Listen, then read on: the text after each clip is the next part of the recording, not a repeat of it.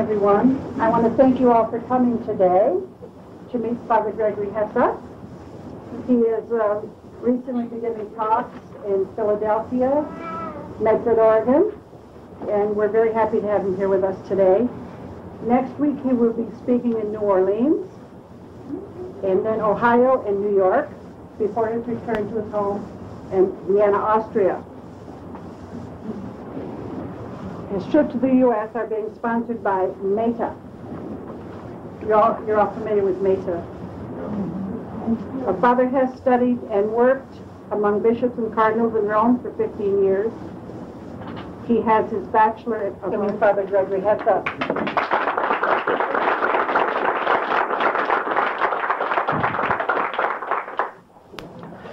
Aspirando preveniat adiuvando prosequo et cuncto finiato Christum Dominum nostrum. Sancte ora pro nobis.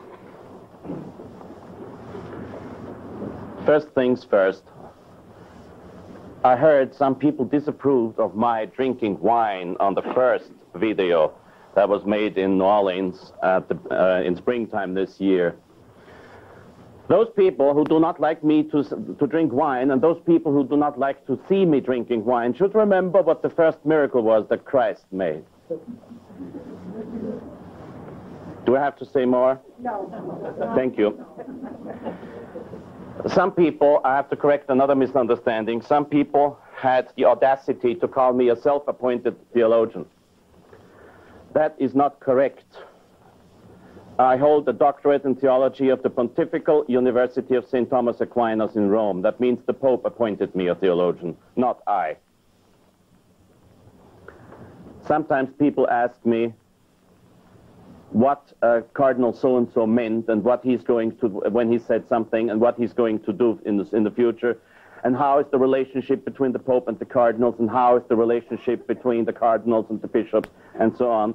And in my first tape, I said that this is, to me, a kind of theological weekly world news and national enquirer.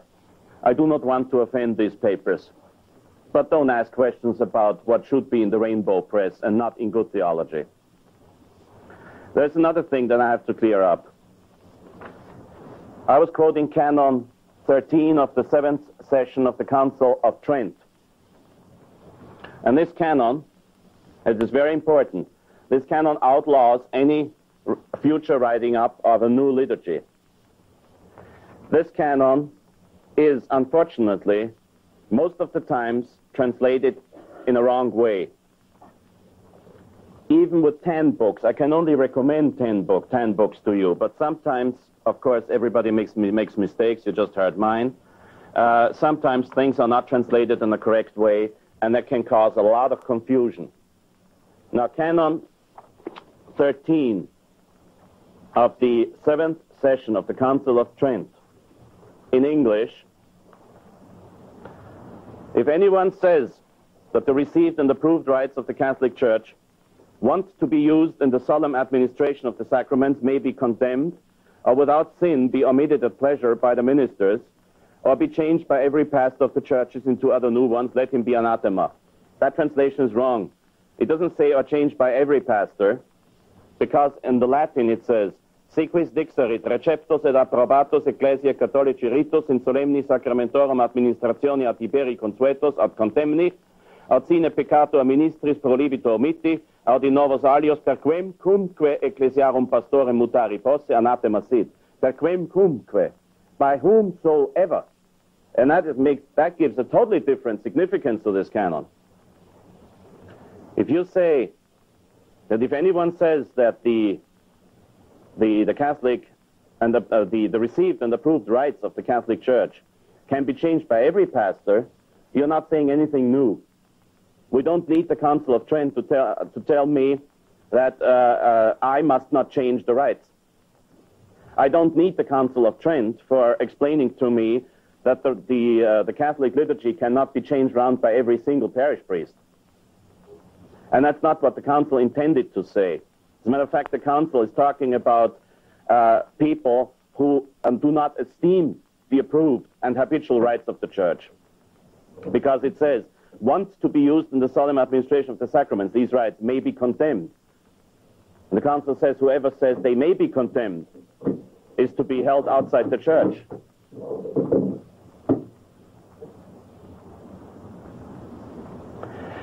The Council of Trent says that whoever says that you can leave out things, something, words, sentences, meanings, gestures in these rites at pleasure by the ministers, he ought to be considered outside the church. Now, the Council of Trent has just said that nobody can change the rites.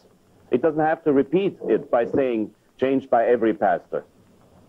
The Council, in, in, in fact, intended to say and said, per ecclesiarum pastorem, by whomsoever. Now, whomsoever includes the popes. The pope is a pastor of the churches. He's bishop of Rome, archbishop of the province of Latium, primate of Italy, patriarch of the West, vicar of Christ, and servant of the servants of God. The pope cannot write up new rites. That's what the Council of Trent said. This is what Pope Innocent III said when he said, if a future pope was to change round all the sacraments and everything, you do not follow him. And at the Council of Florence, Pope Eugene IV had as his personal theologian a certain Cardinal Torquemada, the uncle of the famous and saintly inquisitor in Spain. And Cardinal Torquemada wrote a book which is called Summa Ecclesiae, and in his book, Summa Ecclesia, he says, if a pope was to try to change all the rites and the sacraments, he puts himself outside the church. Pope Eugene IV read that book, and he gave the title Defender of the Faith to Cardinal Torquemada. Before I start to explain to you the problems of Vatican II, I want to make some very important distinctions I noticed in recent conversations, in discussions, even with famous writers, with famous learned men, very learned men, that there seems to be a great difficulty to apply the distinction of objective and subjective, even by people who are very learned and are quite able to explain the distinction to me academically, still they have a problem applying it. So let me make a few distinctions, starting with objective, subjective. Now, the word objective, you can check me. You can check me on everything I say. Check me with the American Heritage Dictionary of the English Language if you don't trust my explanation. Objective means something concerned the object, the thing. Subjective means something concerned the person. So when I pronounce an objective judgment, I judge facts and things or actions. When I pronounce a subjective judgment, I judge a person. And I do not want to do that, by the way. Objectively, this is a very good wine. Subjectively, not everybody might like it. Objectively means concerning the thing itself, what it is and how it is. Subjectively means what it means to me, how I understand it. When the Council of Florence, Pope Eugene IV, in 1441, said that nobody who is not subject to the Roman pontiff, even if he was to shed his blood for Christ, cannot be saved, the Pope was pronouncing an objective judgment. The Pope did not say that all Protestants are in hell. The Pope said, objectively speaking, they have no chance to be saved. Subjectively, what the Lord will do with them we do not know. De internis ecclesia non judicat, the church does not judge internal things. De mortuis ecclesia non judicat, the church does not judge the dead. So this is the distinction of objective and subjective. There has to be a distinction of material and formal. Material means, some, means something is there. It exists. It is there formal means it is, is declared as such. When I say that the present Pope is a heretic, sometimes that causes raised eyebrows and harsh criticisms. I say the present Pope is a material heretic. That means there is heresy to be found in his writings, and I will prove it to you, and I have proven it to you on the first tape. I do not say he is a heretic in the sense that he wants to say heresy, that he commits the sin of heresy. I would not dare to pronounce this judgment. Nobody can judge the Pope anyway, and nobody can, can judge other people's intentions and other people's consciences. We can only judge what we see. I see there is heresy printed, so it is there, material heresy. The matter of heresy is there. I do not say it is formal heresy. To show you the difference, the present Pope always says, in accordance with tradition, I say to you, and then he says something wrong. Well, obviously, he doesn't mean to say heresy. He wouldn't say in accordance to tradition. But if he was to say, contrary to what the Council of Trent taught you, I say, in that moment he ceases to be Pope, most probably, because that would be objective, formal heresy, not material heresy. There's another distinction. It is unbelievable what people say after I held a speech or gave a sermon.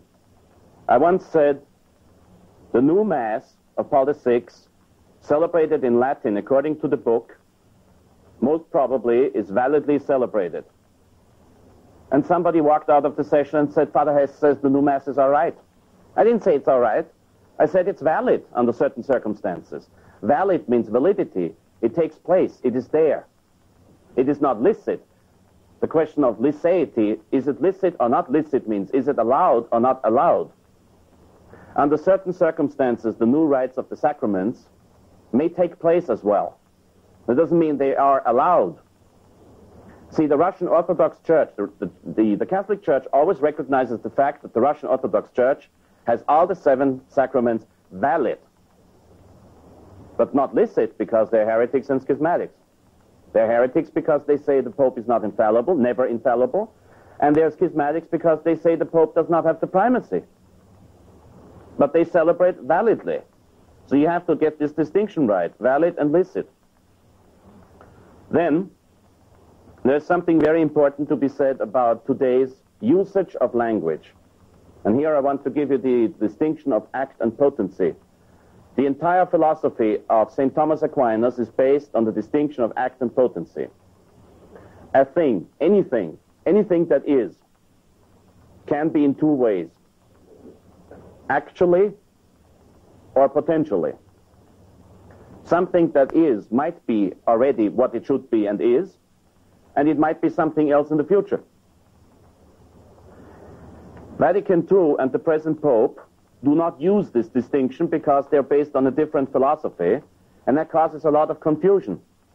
When the present Pope says all people are saved, is he right? Yes, he is right. Oh, yeah. Oh, yes. All people are saved in potency, potentially. Possibly they are saved. Possibly. When Christ died on the cross in order to enable mankind to be saved. That doesn't mean that everybody will be saved. And actually, not everybody is saved. Our Lady showed the children that hell is packed with people when she appeared in, in, in, uh, in Fatima in 1917. So, when I speak English, you will agree with me, I have to submit to the rules of speaking English. When I speak, I have to submit to the rules of speaking. I do not think you would appreciate it very much if I was to tell you, I am Pope. I am Pope, potentially. So is every male present. I am Pope, potentially. As long as I tell you that possibly I might become Pope, but the probability is zilch, you will say, yes, okay. But if I was to say to you, I am Pope, you would say, this guy is nuts. Rightly so. But if I say to you, possibly, possibly in as far as potentiality, possibility is concerned, Christ saved everybody. He did not, as far as the actuality is concerned, save everybody because there's enough people who say no. So uh, I try my best to submit to the rules of the English language and to the rules of language, and I request the Pope to do the same. I have a right to request it because he's our supreme teacher, and I have a right to demand from my supreme teacher that he uses the language correctly. So I want him to say, not everybody is saved, only potentially everybody is saved. So far for the distinctions. Then there is a difference between heresy, schism, error, disobedience. Schism means I separate myself from the church, not denying anything of the faith itself, but I separate myself from the church, denying the church authority. If I tell you that you shouldn't listen to the Pope when he says something wrong, I just tell you what Pope Innocent III said. I just tell you what Pope Pius IX said. If I was to tell you you should not regard this Pope anyway, then I would lead you into schism. Do not deny the power of decision to the Pope. Look, President Clinton is president or not? Unfortunately, yes. She is, uh, uh, excuse me, he, he, he is president. He is president. Is he, uh, is he, the, uh, is he the, the, the supreme commander of the armed forces of the United States? Yes, unfortunately, yes. We must not deny this. We have no right to deny this. But if he was to tell me, as Supreme Commander, that I should disregard the Ten Commandments, I will say, no, sir. I will not. I reject the command. I do not reject his power to give a command. And this is our relationship to the present Pope. We are sorry for what he does, but we do not deny that he is Pope. We do not deny that he has the power. We do not deny that only the Catholic Church is the right church. We do not deny that the Catholic Church has to be led by the Pope as the Vicar of Christ. Anybody of you who denies that is in schism with the Church. What does heresy mean? Heresy means, materially, objectively, first of all, heresy means you deny or doubt a defined doctrine of the Church. If you say, Our Lady was not immaculately conceived, you're a heretic. If you say, I'm really not sure if this really happened, you are a heretic. Materially first, because you might have misunderstood something. Formally, if you say, I don't care what the church says, it's not true. You might be in error. Contrary to heresy, which means that you know the dogma of the church and you deny or doubt it, you might have an, uh, a mistaken understanding of what the church says. You might be erroneous. Sometimes this present pope is in error, sometimes he's in heresy, materially. If I have to suppose that there is something the church defined that he has to know, and he says something to the contrary, then I see he's a heretic. If I see that he misunderstood, clearly misunderstood a dogma, then I have to talk about error. Always judging objectively and materially. Disobedience has nothing got to do with schism or heresy or error. When Archbishop Lefebvre denied the Pope's command not to consecrate bishops, well, at first, at first glance, he was disobedient. I have explained in my other tape why he was not disobedient. He was disobedient to a wrong and unjust and dangerous command coming from the Pope. He was not disobedient to tradition and the will of Christ. But in, in no case, and from no viewpoint, is it justified to say that he is in schism. Schism means to deny the authority of the Pope, not to disobey a command. I have explained that. These distinctions must be clear in your minds, otherwise you will not understand what I'm about to say. And then there's something that I have to explain about what is called in Latin the loci theologici, the theological places, the theological positions. I told you that something might be heresy and something might be erroneous. But there are finer distinctions than that. A Catholic truth can be de fide divina, by divine faith. That is when the Council of Trent or the Council of Florence or First Vatican Council declared a dogma. It might be de fide catholica. That is when the church has always believed it. De fide catholica means the church has always believed it. It's part of the faith, like the creed. Fide definita means the church has always believed it, but once in history, a pope made a definition. When in 1854, Pope Pius IX proclaimed the dogma of the Immaculate Conception, he did not tell us anything new. He just made a definition about what it is exactly to mean. Then you might have a theological judgment which is called fide proxima, closest to the faith. That means it's not a dogma, but the church has always believed it, and it could be a dogma any time. Like, for example, the co-redemptrix, the fact that Our Lady has had the first role in helping with redemption. That will have to be defined eventually for the simple reason that many people are confused about what it means. Did Our Lady redeem us? No. Our Lord did, and only our Lord. Then why may she get the title of co-redemptrix? What does it exactly mean? Well, I'm not the Pope and I won't define it, but the Pope should in the future. But it is a sententia fide proxima. That means you may not deny it without fear of punishment from God. Then there's a sententia certa. That means it is not actually of the faith, but uh, we are very sure about it. And then there's something which is sententia communis. That means we might not even be sure about it, but everybody says so. Not in the sense of democracy, but in the sense of historical accordance. In the sense that uh, most of the saints agreed on it, most of the theologians in, in history and church teachers agreed on it, and most of the popes agreed on it. That's a sententia communis. And then you have a sententia probabilis. It is probable, that means. We don't know exactly but probably that's what it is. Like uh, the old question, what happens uh, in certain circumstances if somebody who is not uh, uh in the state of grace dies with an act of contrition?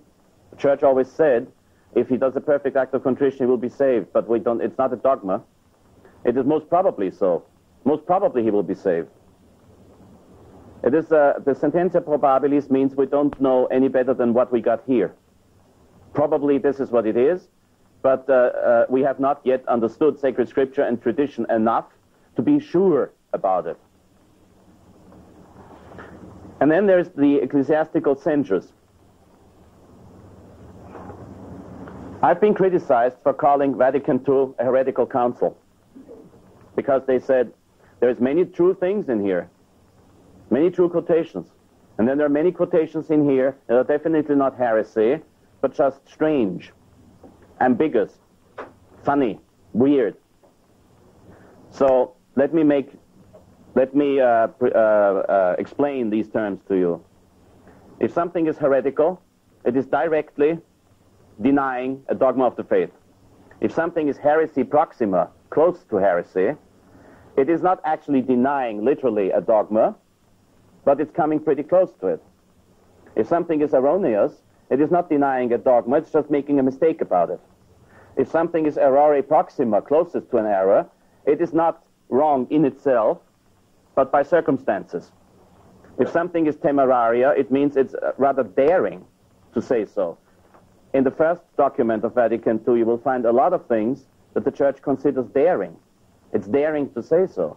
What does it mean it's daring to say so? Now, the fact that priests in the traditional rite of the Latin Church say the Leonine prayers after Mass, the three Hail Marys, the Salve Regina, and so on, has been established by Pope Leo XIII. They cannot possibly say it's an ancient tradition, right? But if I was to say, oh, we don't need that, Obviously, it's not heresy. It was not defined that we have to say it. Obviously, it's not close to heresy. obviously it's not erroneous because we're not talking about the truth of the faith.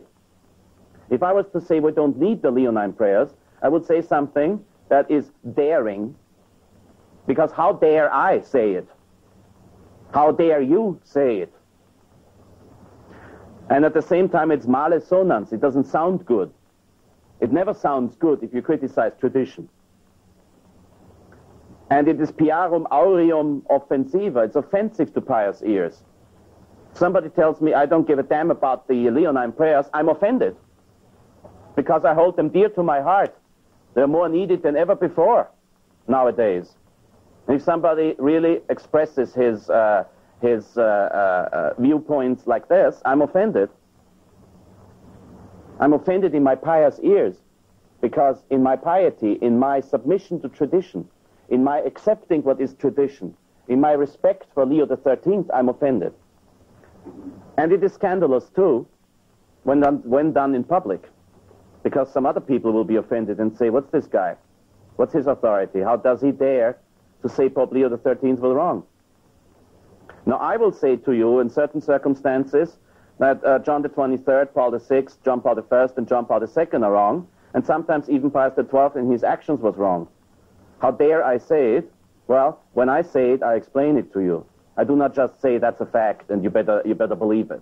That would be daring and offensive. And this is another censure of the church.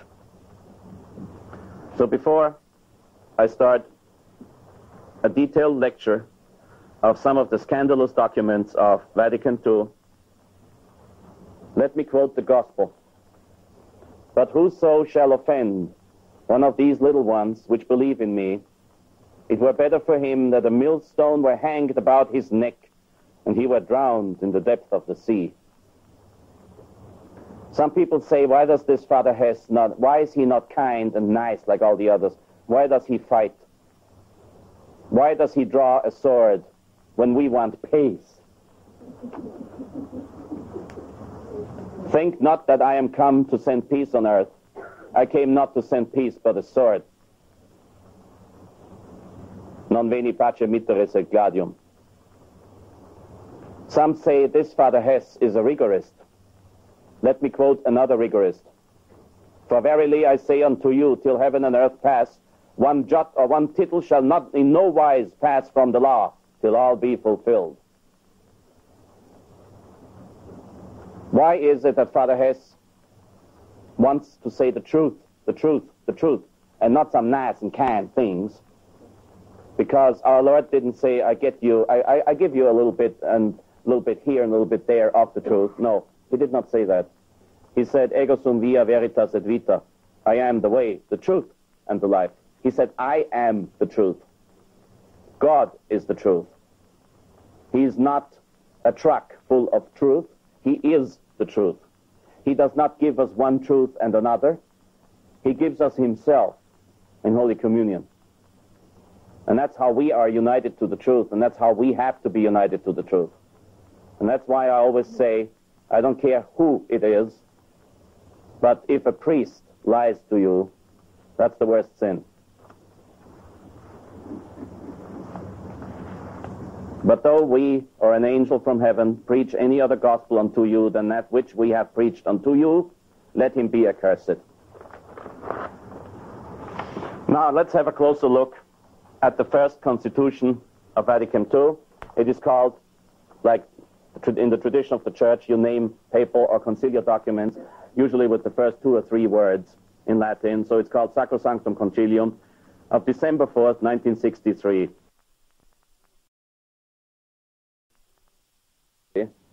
But they are wrong. When Father Kramer, I recommend the book to you, when Father Kramer in his theological vindication of Roman tradition says that Vatican II did not want the Novus Ordo Missa, he's right. He's right in the sense, which he explains very well, he's right in the sense that what the Novus Ordo Missa came out to be is far beyond what Vatican II wanted. But Vatican II blasphemously wanted to change the liturgy. And how? And you will see how. The Sacred Council has set out to impart an ever-increasing vigor to the Christian life of the faithful, to adapt more closely to the needs of our age. those institutions which are subject to change, to foster whatever can promote union among all who believe in Christ. This concept of union is erroneous and has been condemned by Pius XI in his encyclical Mortalium Animos on ecumenism, condemning what today is called ecumenism. Pope Pius XI in his document Mortalium Animos says, it is absolutely wrong and to be condemned to say that the church is not in union. In the creed we say, una sancta catholica apostolica ecclesia, una. The church is always one. The church is never divided. The Protestants are not Catholic Church not in union, Protestant Church not in union. The Protestants are heretics outside the church. The Russian Orthodox Church is not our sister church, as John Paul II says. The Russian Orthodox Church is outside the church because it denies the papal infallibility. That's a dogma. They are not in union with the church, they are outside the church. The Catholic Church is always one, and it is always in union with itself. So we must not adapt liturgy and change liturgy around in order to achieve union. What union? We have it. There's no need to achieve it. We have it. Una sancta catholica et apostolica. But no, number one of Sacrosanctum Concilium wants it to adapt more closely to the needs of, the, of our age and to foster whatever can promote union among all who believe in Christ. And while the Council in number four says, finally, in faithful obedience to tradition, the Sacred Council declares that Holy Mother Church holds all lawful recognized rites to be of equal right and dignity, that means Latin rite, first of all, that she wishes to preserve them in the future and to foster them in every way. The Council also desires that, when necessary, the rites be revised carefully in the light of sound tradition, and that they be given new vigor to meet present day circumstances and needs. On one hand, the Council says that the reform must be according to sound tradition, but then the Council says to meet present-day circumstances and needs. Pope Pius VI in Auctorem Fidei called this request scandalous, rash, and offensive to pious ears. So what Vatican II is saying here has already been condemned by a previous pope, and Vatican II, needless to say, is contradicting itself, as we will see in some of the, of the, the uh, following points. In number seven, the Council confuses. I don't say it denies. I don't say it explains in the wrong way. I just say it confuses the presence of Christ in the church by saying, to accomplish a great, so great a work, Christ is always present in his church. How is he present? Especially in her liturgical celebrations. He is present in the sacrifice of, of the Mass, not only in the person of his minister, the same now offering through the ministry of priests, who formerly offered himself on the cross, but especially in the Eucharistic species. By his power, he is present in the sacraments, so that when anybody baptizes, it is really Christ himself who baptizes. He is present in his words, since he himself who speaks when the Holy Scriptures are read in the church. Lastly, he is present when the church prays and sings, for he has promised, where two or three are gathered together in my name, there I am in the midst of them. So how is he present now? How? In the old days, the church would never have written a paragraph like that because the church would have said Christ is substantially, that means body, blood, and with it his soul and divinity present in the tabernacle and on the altar during the sacrifice of Mass. He is spiritually present when two or three are gathered in his name. Like when you say a rosary together, you can get a plenary indulgence for that, but not when you say it alone, unless you say it alone in front of the Blessed Sacrament. So when two or three are gathered in my name, I'm amongst them. That's a spiritual presence. And he is present in persona in the priest offering, because of course, when I say Mass, Christ is offering the sacrifice, not I. This is why I don't say at the words of consecration, I don't say, this is the body of Christ. But at the word of, of the words of consecration, I say, Hoc est enim corpus meum. This is my body. So I lend my voice. unworthy instrument that I am, believe me, I am, all priests are, unworthy instruments that I am, instrument that I am, I lend my voice to Christ, and he says, Hoc est enim corpus meum, this is my body. So he's present in persona. But the council does not make these distinctions. The council says he's present. And indeed, this is one of the reasons why in number seven of the Institutio Generalis Missalis Romani, the institution how to use the Roman, the new Roman Missal, in number seven it says the Mass is when uh, Christ is present because uh, he said, where two or three are gathered together in my name, there I am in the midst of them, which is a heretical definition. And the fact that later on some of the uh, uh, part of the definition of the Council of Trent was added doesn't change the fact that the first part cannot be a definition, but attempts to be. In number 14 of the same constitution, the Church ignores, I mean, excuse me, Vatican II, not the Catholic Church. Vatican II ignores another distinction Mother Church earnestly desires that all the faithful should be led to what to that full conscious and active participation in liturgical celebrations, which is demanded by the very nature of the liturgy, and to which the Christian people, a chosen race, a royal priesthood, a holy nation, a redeemed people, have a right and obligation by reason of their baptism.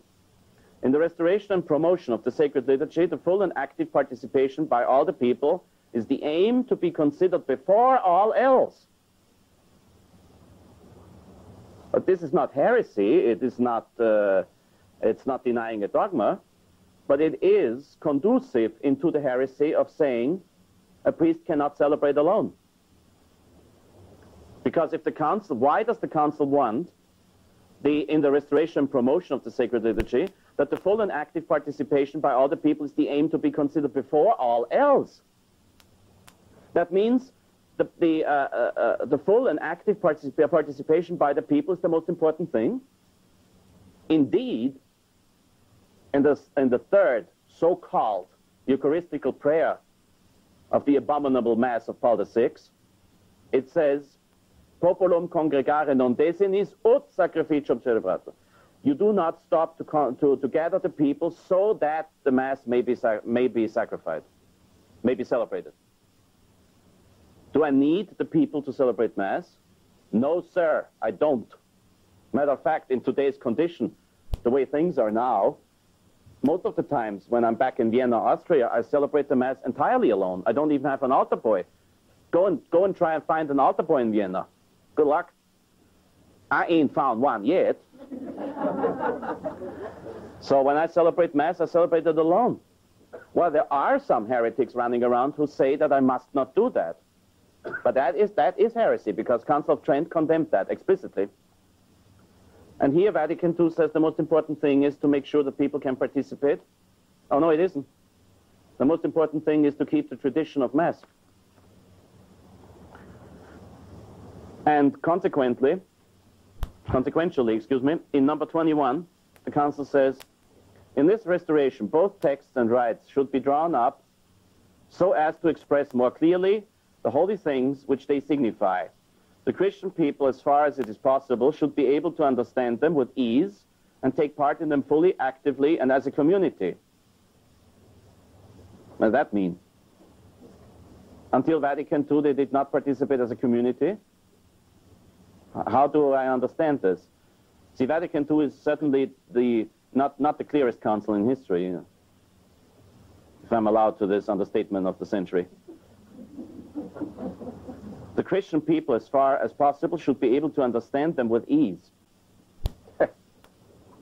this is one of the most unrealistic and stupid things I've ever heard in my life.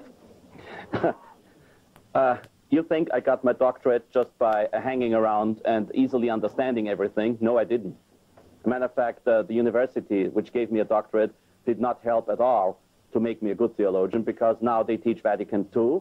They also teach Vatican II. Sometimes, however, they teach Vatican II. And uh, I didn't learn much there, with the exception of a few Dominican fathers who I hold in great esteem and in fond memory. Most of the teachers there we're just quoting the theologians that wrecked Vatican II and the Church. I have studied theology for 10 years. More than that, because I started to get interested in theology before I went to Rome, before I decided to become a priest. I really started to study theology in 1974. That's a few years ago. I have not yet understood every single part of Mass. So how do you think, what do you think the result would be in a liturgical reform if we make sure that other people understand with ease? That makes putting up a totally imbecile rite something so downright, downright stupid that the, the village idiot will understand it. The Mass is not supposed to be understandable for the village idiot. The Mass is not even supposed to be understood by the people. The Mass is supposed to represent the entire faith of the church. The oldest liturgical rule is still lex orandi, lex credendi. The law of what has to be prayed constitutes the law of what has to be believed. If liturgy does not explain the faith to me, I do not know what to believe. But liturgy does not explain the faith to me in a scientific manner, like in a lecture. Liturgy is, by definition, as all sacraments, a sign that represents the specific grace that comes from the sacrament ex opere operato, by the work itself, by the sacrament itself, not the one who celebrates, not the one who receives, but by the sacrament, it's from the sacrament itself. And uh, the liturgy shows the people what is the faith. How come that in the old days, when people were not able to read and write, they understood the faith? They taught their children and the, they raised their children in the faith. They explained the faith to their children. They did not even, um, they were not even able to read English, let alone Latin. The Mass was said in Latin every day. Nobody was able to understand that except a few very learned people. Most priests are, believe me, believe me, most priests are totally incompetent as far as Latin is concerned. Most priests are not able to translate Latin. They're not able to read Latin. They're not able to understand Latin. In the old days, it was one of the most common things that you had a priest who was illiterate. He couldn't even read the Missal. He had to learn it by heart. I'm talking about many centuries ago. St. Gregory the Great, when he was Pope, he said, he will not consecrate a bishop who does not know the 150 Psalms by heart. Why? Because most of them couldn't read well anyway, or not at all. So how do you make them say the breviary? We'll come back to this later. How do you make them say the breviary? Yeah, well, Gregory the Great said, you will learn the 150 Psalms by heart. You will know them by memory. Because this was the only way to make them say the breviary. Do you think they understood the Psalms? No. Definitely not. I have never pretended to understand everything in the breviary. I don't. St. Chrysostomus, I think it was, who said, don't try to understand prayers, say them. Uh. And now the council wants me, the council wants us to change a liturgy into something that is understood with ease. That's impossible. Either you give up the highest principle of liturgy, which they did, or the people will not understand it with ease. Why do you think the Council of Trent was a little bit more intelligent than Vatican II? Why do you think the Council of Trent insisted on the priests teaching the people about Mass in their sermons? The Catechism of the Council of Trent gives you a whole load of titles for sermons on uh, the difference between the offertory, the consecration, and the communion. Well, in the old days when people were not able to read and write, good priests taught them from the pulpit what the Mass is. Good people told their children what the Mass is about. It was understood with ease in comparison to today. With all the confusion going on today, every priest celebrating his own rite, every priest uh, uh, preaching his own truth, people don't understand anything anymore. When Archbishop Lefebvre wrote a letter to, uh, an open letter to confused Catholics, he was addressing almost all of the Catholics. Absolutely because almost all of the Catholics are totally confused. Even here, among us, there's confusion, confusion, and confusion. So the Mass is understood less than ever today. This is the result of obeying Vatican II in this point. In number 22, this will be the number I will quote most often. Number 22, 2. In order to give you the context, I've been accused of misquoting Vatican II out of context. Number 1. 22, number 1. Regulation of the sacred liturgy depends solely on the authority of the Church, that is, on the Apostolic See, and as laws may determine on the bishop. Number 2. In virtue of power conceded by law, the regulation of the liturgy, which within certain defined limits, belongs also to various kinds of bishops' conferences legitimately established with competence in given territories. So far, it means nothing else, but some things will be decided not by the Holy See, but by the bishops' conferences. But then, throughout the rest of the document, they only quote number 22 too. When I'm, when I'm through with this document, you will see what 22.2 really means. You will see the real context of 22.2. In number 23, excuse me, 24, this council says, hence in order to achieve the restoration, progress, and adaptation of sacred liturgy, it is essential to promote that sweet and living love for sacred scripture to which the venerable tradition of Eastern and Western rites gives testimony. Aha! So the church before Vatican II had no sweet love for liturgy. Uh, excuse me, for sacred scripture. So they didn't have sufficient love for sacred scripture. The liturgical books are to be revised as soon as possible. Experts are to be employed on this task, and bishops from various parts of the world are, be, are to be consulted. So they want us to rush up. Hurry, hurry. We need this reform right now. Yesterday. They want more sacred scripture. Why? Because the Protestants want more sacred scripture. Because for the Protestants, there's, there's no tradition, there's only sacred scripture. So now we have endless quotations from sacred scripture that nobody understands anyway, and we have much less of the beautiful traditional prayers of the church. And we got the reform, indeed, as the council requested, very, very soon four years after the council had ended. I say again, number 25, the liturgical books are to be revised as soon as possible. Experts, I've heard that before, experts are to be employed on this task, and bishops from various parts of the world are be to, cons to be consulted. After having heard number 25, do you really believe Vatican II did not want a new liturgy? are to be revised as soon as possible. Then we need experts to do this, and bishops from various parts of the world. Well, maybe Vatican II just wanted uh, uh, said as soon as possible. That means after 20 years, 50 years. I will come back to number 25 later. You will see what the council really meant.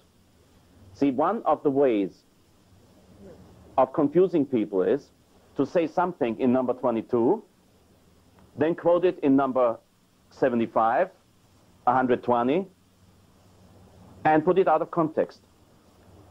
Pius VI, when he condemned in Auctorem Fidei, the Synod of Pistoia said, it is the typical strategy of the reformers, the liberals, to use ambiguous terminology, to use things that can be understood one way or the other.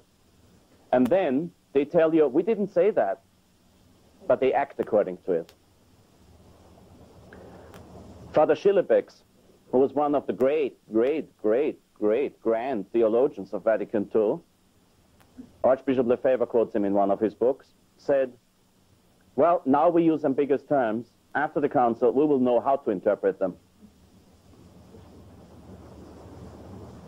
In number 30 of the same constitution, it says, to promote active participation, the people should be encouraged to take part by means of acclamations, responses, psalms, antiphon, hymns, as well as by actions, gestures, and bodily attitudes. And at the proper time, a reverent silence should be observed. Well, that's the one thing we didn't get. this is a Protestant Pentecostal request. This is when people participate. This is when people run around like crazy for exchanging the sign of peace. Hi!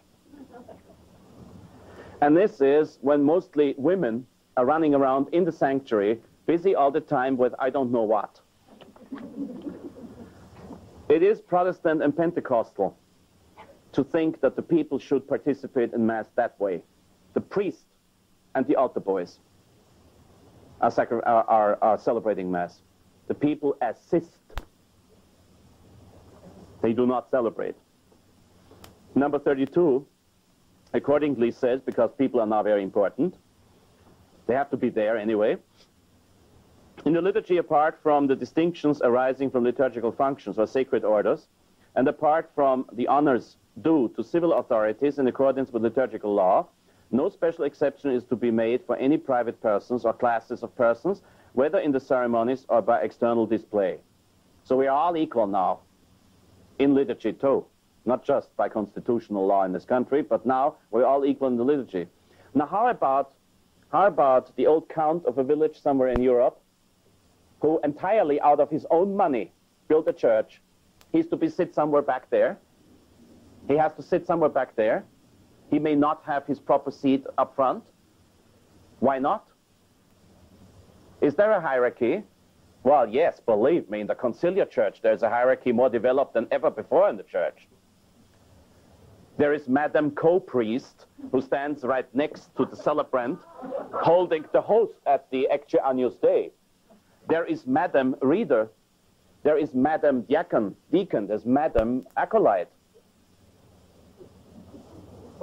They have a hierarchy, and how? And they fight over it. No, no, I'm going to say the reading next Sunday. No, you are not. No, I'm sorry. No, I'm sorry. You will not say the reading next Sunday. No, this is my job. I'm the reader in this church, and I will do it. No, and you will not stand next to the priest holding the host at the Agnus Dei. I do that by tradition in this parish. I've done it from the very beginning. Father came to uh, take over this parish, and I will do it tomorrow too.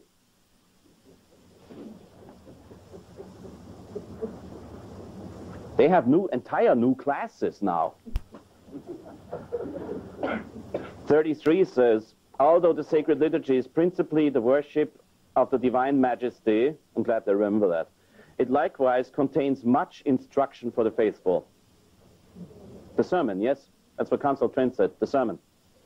For in the liturgy, God speaks to his, sorry, to his people, and Christ is still proclaiming his gospel. And the people reply to God both by song and prayer. I can take that to point. Moreover, the prayers addressed to God by the priest, who, in the person of Christ, presides over the assembly, are said in the name of the entire holy people and of all present. No, no, they're not. Many of the prayers in the Mass are not said, said in the name of the people present. Many prayers are. Council here says all of them. And that's why they changed around the term I to we in the new liturgy. The prayer after the uh, Agnus Dei in Mass, the priest says, um, Domine qui dixisti pace meam do vobis, pace meam, pace meam do vobis, ne spicias peccata mea. Do not pay attention. Please forgive me my sins. The priest says my. The priest doesn't say our. He says mine. So the priest is praying to God. That's his prayer, and it's a silent prayer. It's not a prayer of the people. Many other prayers in the Mass are in the I. At the offertory, for example, the priest says, I offer you this immaculate host. I. Because he's speaking in the name of Christ. It's not the people who offer up the immaculate host. It is Christ who offers up the immaculate host. So, first of all, there are many prayers that are not said in the name of the people, and the people cannot answer to it, and they don't say amen, as a matter of fact. During the entire canon, nobody is allowed to say amen. Only at the end of the canon, at the per ipsum, you may say amen, but let the altar boy do it anyway. And uh, so therefore, the priest is offering Mass, the priest is offering Mass, the priest is offering Mass. He does not preside over the whole community offering Mass. If somebody dares to call me Mr. President, I'm going to kick him out. In number 35.1, the council says, in sacred celebrations, a more simple, more varied, and more suitable reading from sacred scripture should be restored, catering to the Protestants again. More scripture, please give us more scripture. As if we have now, by now, understood all the readings of the Old Missal. Anyway, we want to hear something more. I bet you there is not a single person here, and we all go to the Old Rite, and there's not a single priest here, starting from me, starting with me, excuse me. There's not a single priest here who understands all of the readings and everything of all the readings in the Latin Missal, which is only a selection from sacred scripture. I dare challenge anybody present to prove to me, and if it needs a week, to prove to me that he understood every single point of all the readings. I, can, I could ask you some very nasty questions on that, believe me. And I have asked questions on that which I was not able to answer. And I've asked people who are more learned than me, and they said, I'm sorry, Father, I don't know. I've asked bishops. They said, I don't know. Maybe it means this or this and that. Holy Scripture has not yet been deciphered entirely. And the readings of the Old Mass are quite sufficient to get us to heaven. The Old Mass produced a lot of saints. The new one hasn't produced one yet.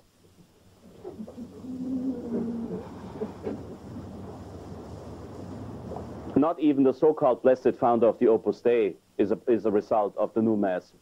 He never said it. Then the council demands in number 36, 1, the use of the Latin. Now you will get a classic example of what modern theology is all about.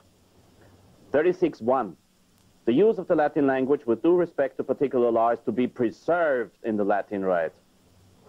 Number 2, but since the use of the vernacular, whether in the Mass, the administration of the sacraments, or in other parts of the liturgy, may frequently be of great advantage to the people. Oh, it's to be preserved, but then it might be of great advantage to the people. May frequently be of great advantage to the people. A wider use may be made of it, especially in readings, directives, and in some prayers and chants.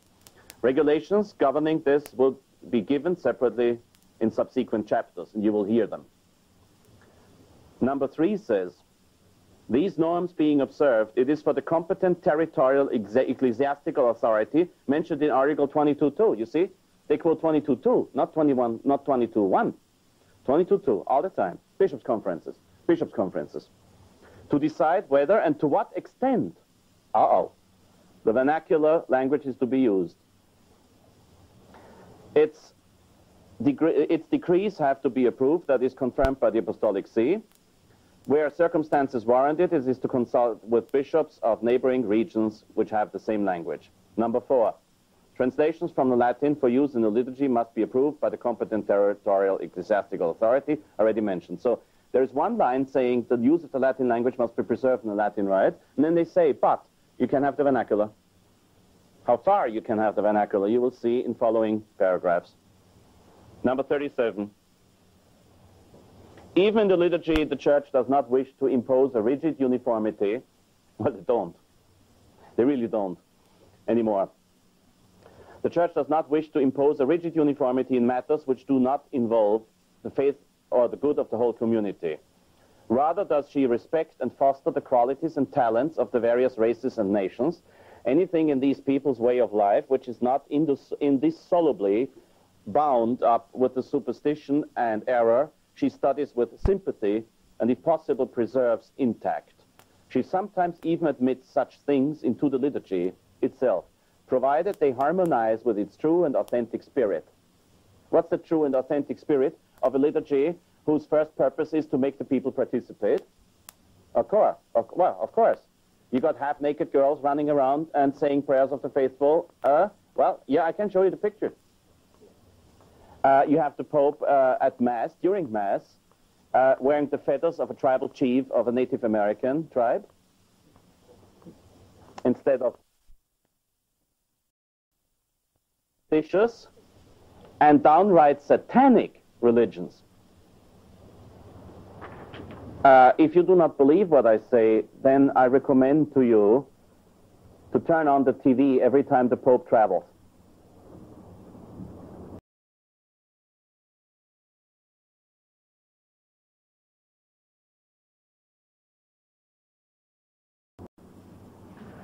Number 40 says, in some places and circumstances, however, an even more radical adaptation of the liturgy is needed, and this entails greater difficulties, for this reason. Number one, the competent territorial ecclesiastical authority mentioned in Article 22.2 must in this matter carefully and prudently consider which elements from the traditions and cultures of individual peoples might appropriately be admitted into divine worship. Adaptations which are considered useful or necessary should then be submitted to the Holy See, by whose consent they may be introduced. This is why we get all the weird, funny, and crazy liturgies going on when the Pope travels. Sometimes when the Pope celebrates a Mass, there's practically nothing left of the traditional rite. Nothing. To the point that, uh, by the way, this will uh, cause great scandal, but it should be known, that when the Pope said Mass in Vienna, well, his obsession of the vernacular, he was calling Our Lady grandmother. Instead of Gottesmutter in German, he said Großmutter Maria. See, if that had happened in Latin, nobody would have noticed it, at least. and there was, there was, this is an inside information. Some people will deny that, but I don't care.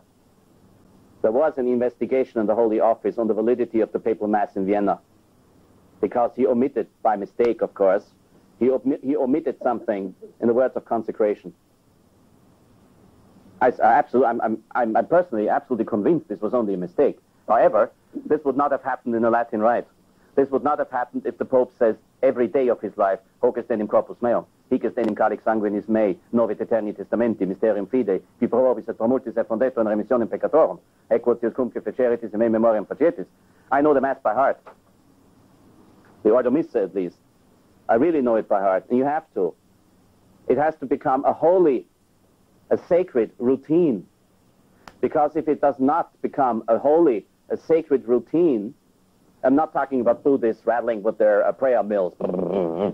it has to become a holy and sacred routine because otherwise you would make horrible mistakes at Mass. Sometimes the priest is too tired. Sometimes he had to get up too early. Sometimes he has to say the Mass too late. Sometimes he's sick. Sometimes he's just confused because we are human beings and things may happen to us that cause great confusion. Sometimes we are not really present at Mass spiritually. I mean, uh, sometimes uh, it, it, it, it, happens, believe me, it happens that after Mass you say, Did I say Mass? You have a scheduled Mass 7 in the morning. For me, it's awful. You have a scheduled Mass 7 in the morning in the parish, and for some reason, maybe it's your fault because you went to a celebration and didn't come home to, to uh, right in, in time. Maybe it's not your fault because you had to uh, give the sacraments to a dying person. You had to assist somebody with extreme unction and, uh, and, and the viaticum, the last rites, and you come back at 3 o'clock at night, and then you have to say Mass at 7, and you're really standing there like a zombie celebrating, you better have developed a holy, sacred routine in doing this because otherwise you might just forget the words of consecration. This is another one of, this is another aspect, an evil aspect of the new Mass. When you are a traveling bishop and priest in our days, you have to say the Mass in 50 languages. That's not possible. But Vatican II wanted it. Don't say Vatican II didn't want that. Number 40 says they want it.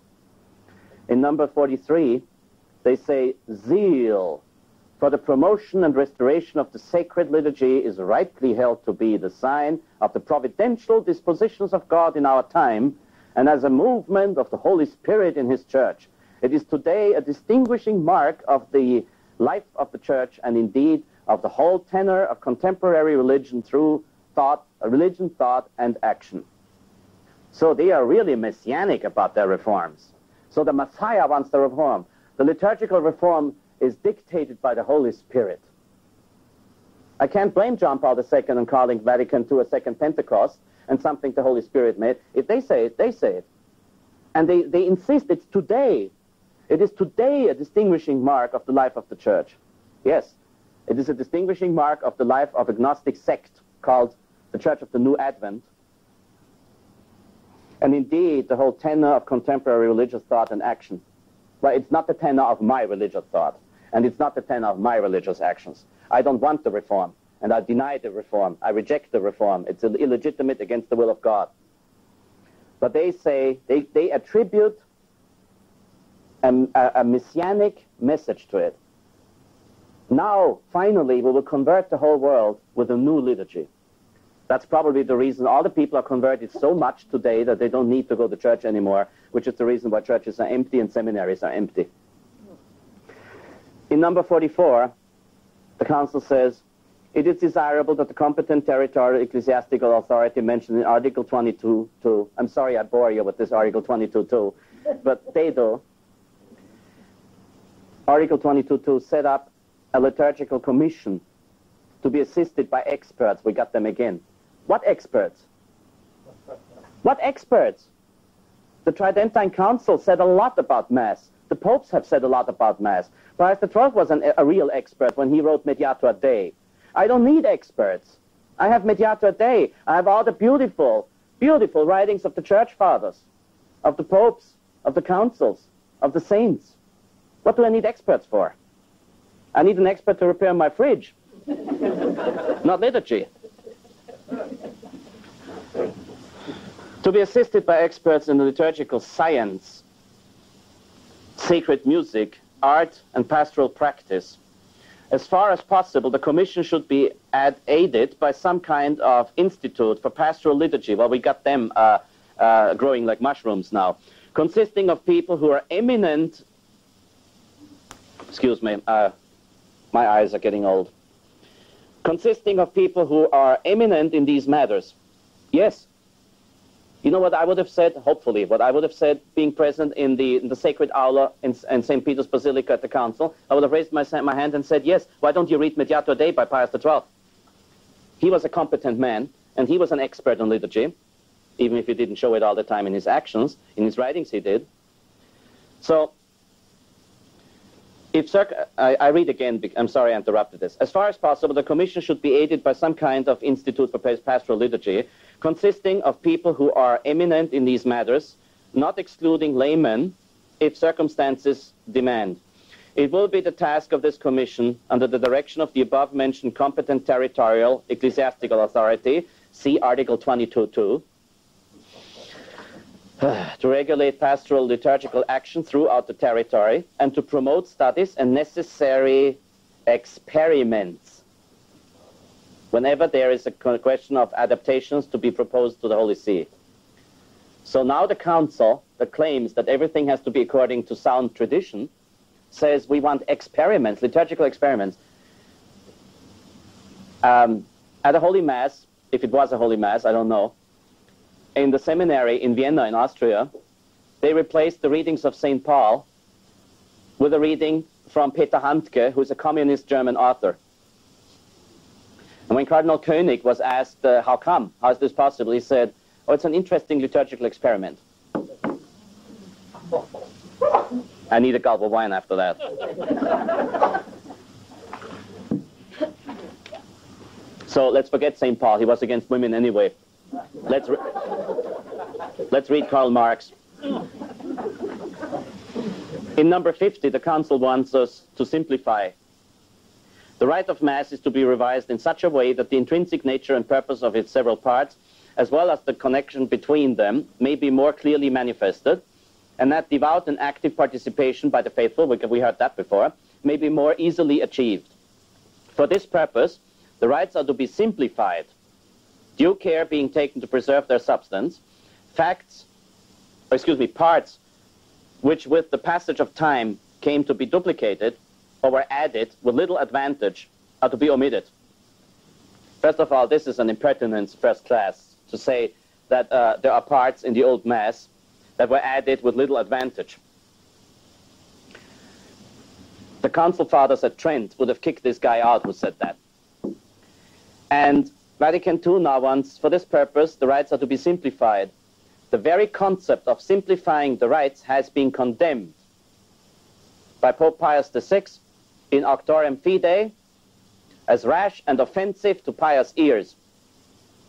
How dare the Council Fathers at Vatican II now to request something that was condemned by a previous pope? When a pope condemns something, no one of his successors may change that. A priest in this country, geographically not far from here, said that the pope cannot bind his successor. I explained in my other tape, and Father Paul Kramer in his book explains very well that this is not true.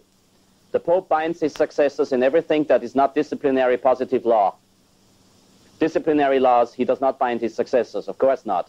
In positive law, that means the great major part of canon law, he does not bind his successors. If the Pope decides to change the, uh, the, uh, the, the law of election to the papacy, he may do so. Many popes did that. The present Pope did it. The next Pope will be elected to the law established by John Paul II, rightly so. But the Pope cannot change the faith. You read that in Denzinger Schönmetzer 3070, the fourth chapter of the Constitutio Dogmatica Pastor Aeternus de Ecclesia Christi of the 18th of July 1870 at First Vatican Council, defining the infallibility of the Pope. And in the fourth chapter, the Council says, Spiritus Sanctus non enim datus est successoribus Petri, ut eo revelante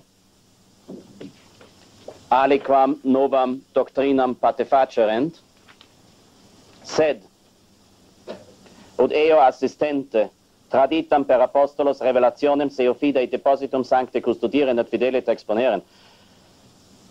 The Holy Spirit was not promised to the successors of Peter, so with his uh, revealing, uh, they may proclaim a new doctrine, but that with his assistance, they may wholly sa- sa- uh, sancte, that's difficult in, in, in English, they may in a holy way guard it and explain it faithfully.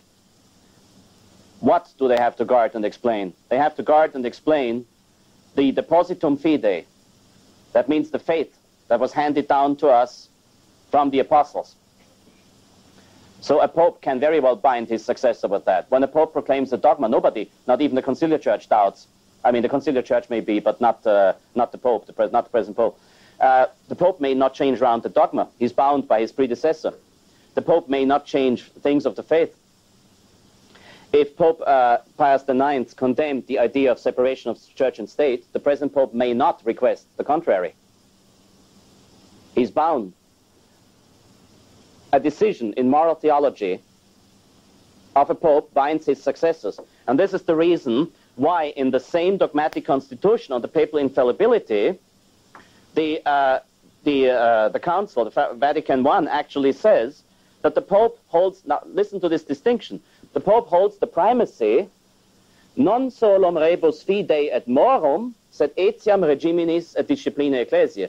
He does not hold the primacy only in the matters of faith and morals, but also in the matters of government and discipline of the church.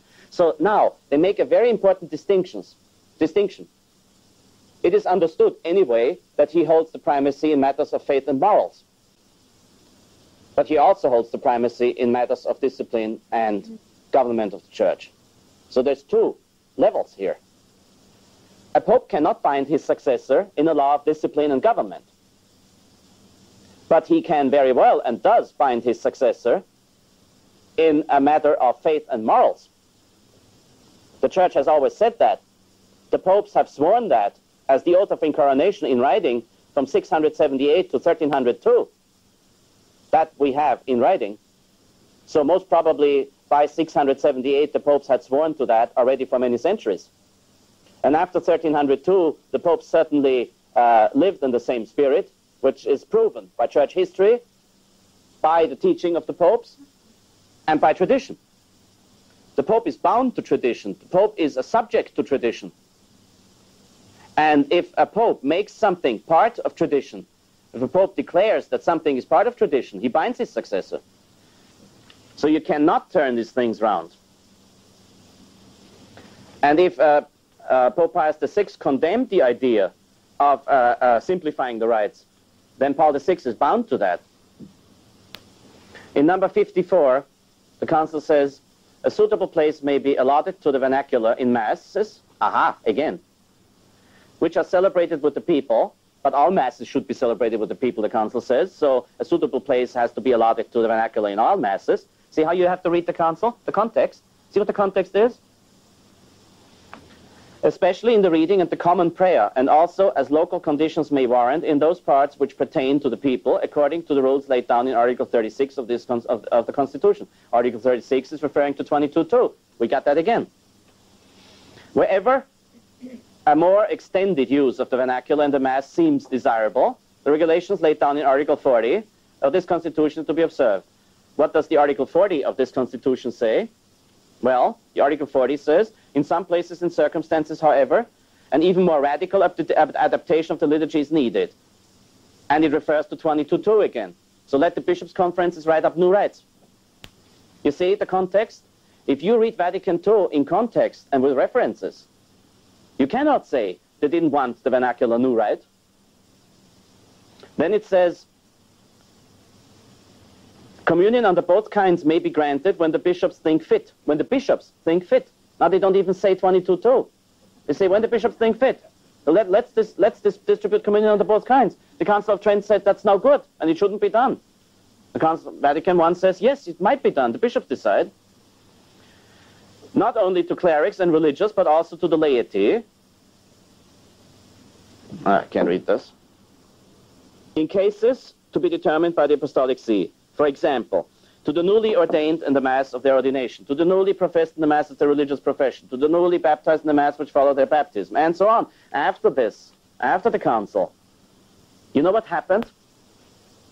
They found blood stains. I call them blood stains, but probably the Mass was not valid anyway, then it was wine stains, in the wall-to-wall carpet of a church, of many churches, of many churches.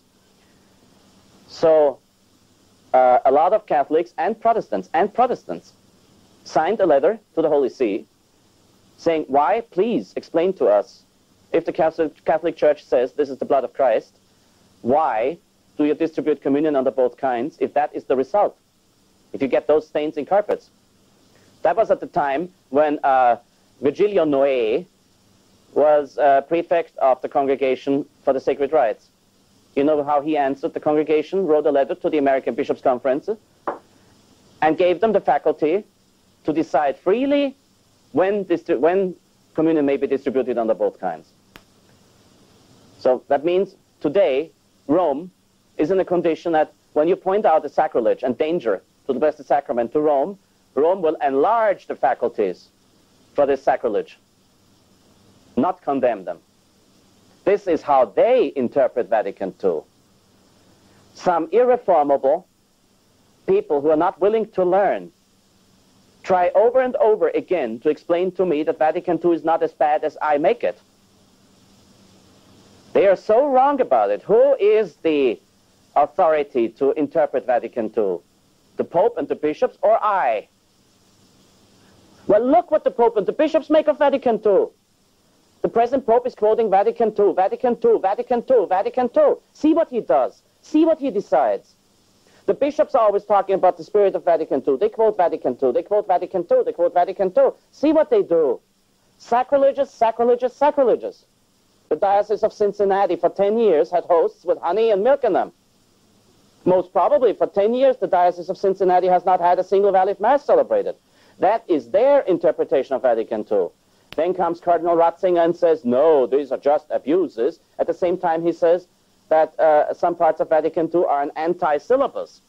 The syllabus is nothing else but the, uh, the condemnation, the solemn condemnation of errors in the church by Pius X, Pius IX, excuse me.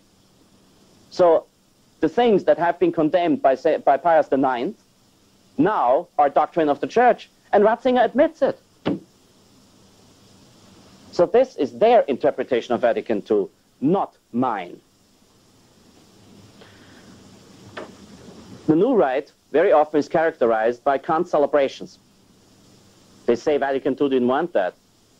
Number 57 says, celebrations whereby the unity of the priesthood is appropriately manifested has remained in use to this day in the church, both in the East and in the West. For this reason, it has seemed good to the Council to extend permission for celebration in the following cases. I don't bore you with those cases now. You can celebrate wherever you want. As a matter of fact, that, that's what I call uh, historical irony.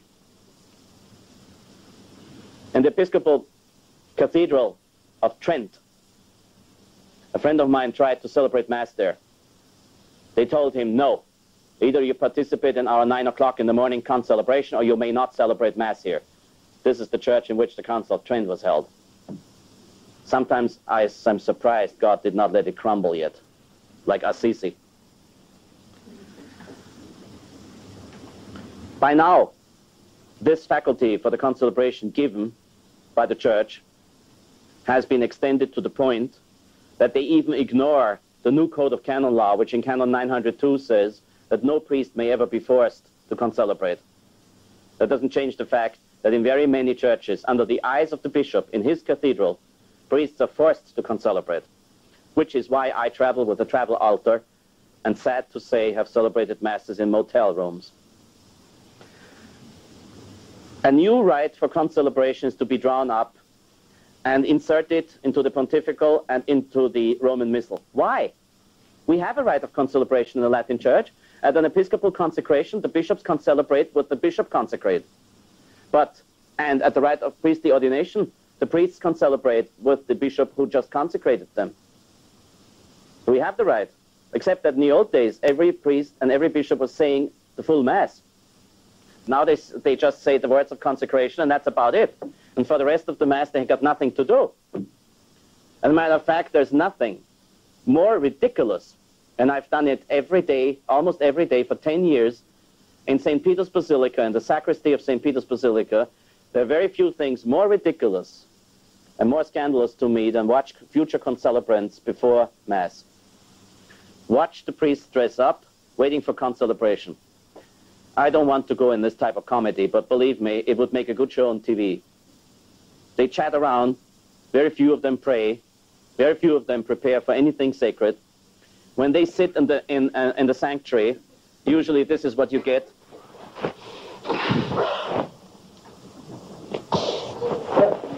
This is concelebrants in Mass. And I've just given you uh, one type. There are many others. Some of them don't say anything. Some of them uh, are just snoring through the whole thing. We had a beautiful rite of concelebration. If the council had really wanted concelebration, it would not have asked for a new rite to be drawn up. It would have used the one existing. Apart from the fact that it is not a tradition in the Latin Church to concelebrate, except at ordination and consecration. Number 62 says, with the passage of time, however, there have crept into the rites of the sacraments and sacramentals certain features which have rendered their nature and purpose far from clear, far from clear to the people of today. Hence, some changes are necessary to adapt them to present-day needs. Again, simplify the rites to the point that the village idiot will understand them. The council is very repetitious, as you can see. Number 63. Because the use of the vernacular in the administration of the sacraments and sacramentals can often be of very great help to the people, the use is to be extended according to the following norms. In the administration of the sacraments and sacramentals, the vernacular may be used according to the norm of Article 36. We have read that before. You can look it up. I'll wind back the tape.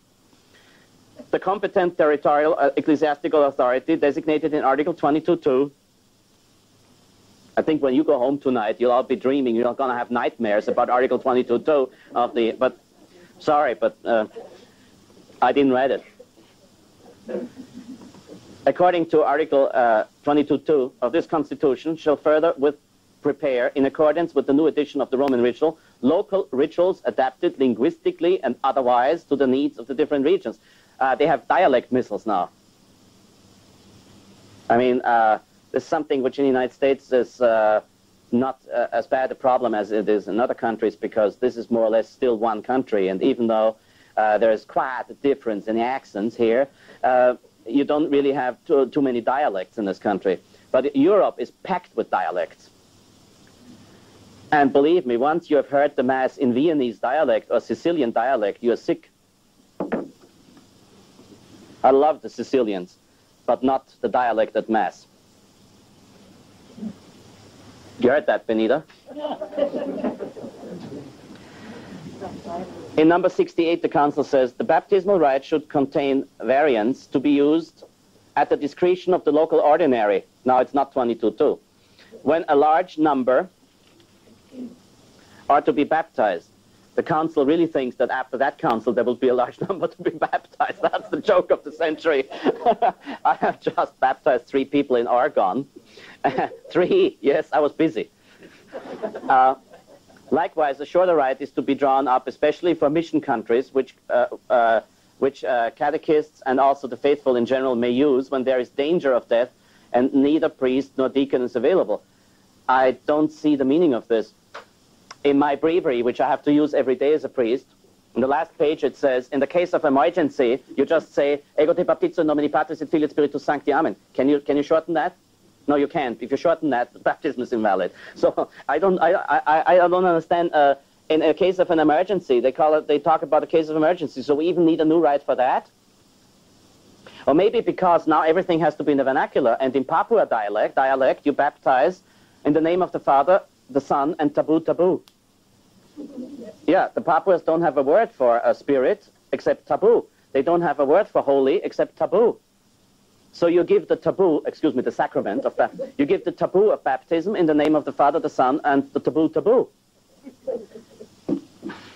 Shows you the advantages of the vernacular. The rite of confirmation is to be revised, blah, blah, in number 71. 72, the rite and the formula of penance are to be revised. 76, ordination rites have to be revised. 77, the marriage rite has to be revised. Now, you know, they all are new rites now. And that has been explicitly condemned by the church. If people use those who, now this will cause me a great number of enemies, but it's the truth those who use the new rites and approve of them are materially in schism with the church. The church has said whoever says that new rites may be created, anathema sit, he may be accursed. Pope Innocent III said there must not be new rites. Pope Eugene IV praised the Cardinal Torquemada who said there must not be new rites. Priests who say the church may write up new rites and may use them, and I may use them, and they may use them, are in material schism with the church. I say material because most of them don't know it. I'm not accusing or condemning any individual here, which of course I know, even though I'm very clear on this in my tape, people will run around and say Father Hesse condemned everybody to hell. Okay, if they want to go on with that slander against the Eighth Commandment, fine. It's not my business. But uh, I do not condemn every priest, and I do not condemn any priest. Just saying they are in material schism with the church, and you better believe it after what I told you. What you, you can check everything I said. I give you footnotes. I give you what I have received. I do not make up these things. In 79, the council is even more explicit. The sacraments are to be revised. These sacraments are to be revised. Revised, mind you. Account being taken of the primary principle of enabling the faithful to participate intelligently, that's a joke, actively and easily. I, we have talked about that. I don't need to repeat it. The circumstances of our times must also be considered. That has been condemned both by Pius VI, Pius IX, and Pius XII. The circumstances of our times must also be considered, not in the liturgy. The eternal sacrifice is the eternal sacrifice. It is the eternal sacrifice of all times it is not the sacrifice of the 20th century or the 21st century or the glorious millennium. When rituals are being revised as laid down in Article 63, we read that before, new sacraments may also be new sacramentals. You have to be careful of that. The council did not say new sacraments. The council said new sacramentals. Sacramentals are blessings and all kinds of things. May also be added as necessity requires. I agree with that, of course. Uh, sacramentals have to be added. In the old, uh, in the old um, uh, Rituale Romanum, you will not find a proper blessing for uh, uh, a military jet fighter because it didn't exist then. So uh, some new blessings indeed have to be drawn up. Provisions should be made for the administration of some sacramentals. Now get this. At least in special circumstances and at the discretion of the ordinary, the bishop may decide by qualified laypersons. Qualified laypersons? If that's not an oxymoron, I ain't heard one yet. Qualified laypersons? Okay, uh, get your car blessed by your neighbor. I'm sure Mahony is in agreement with that. Or excuse me, uh, His Most Reverend Eminence. Sorry.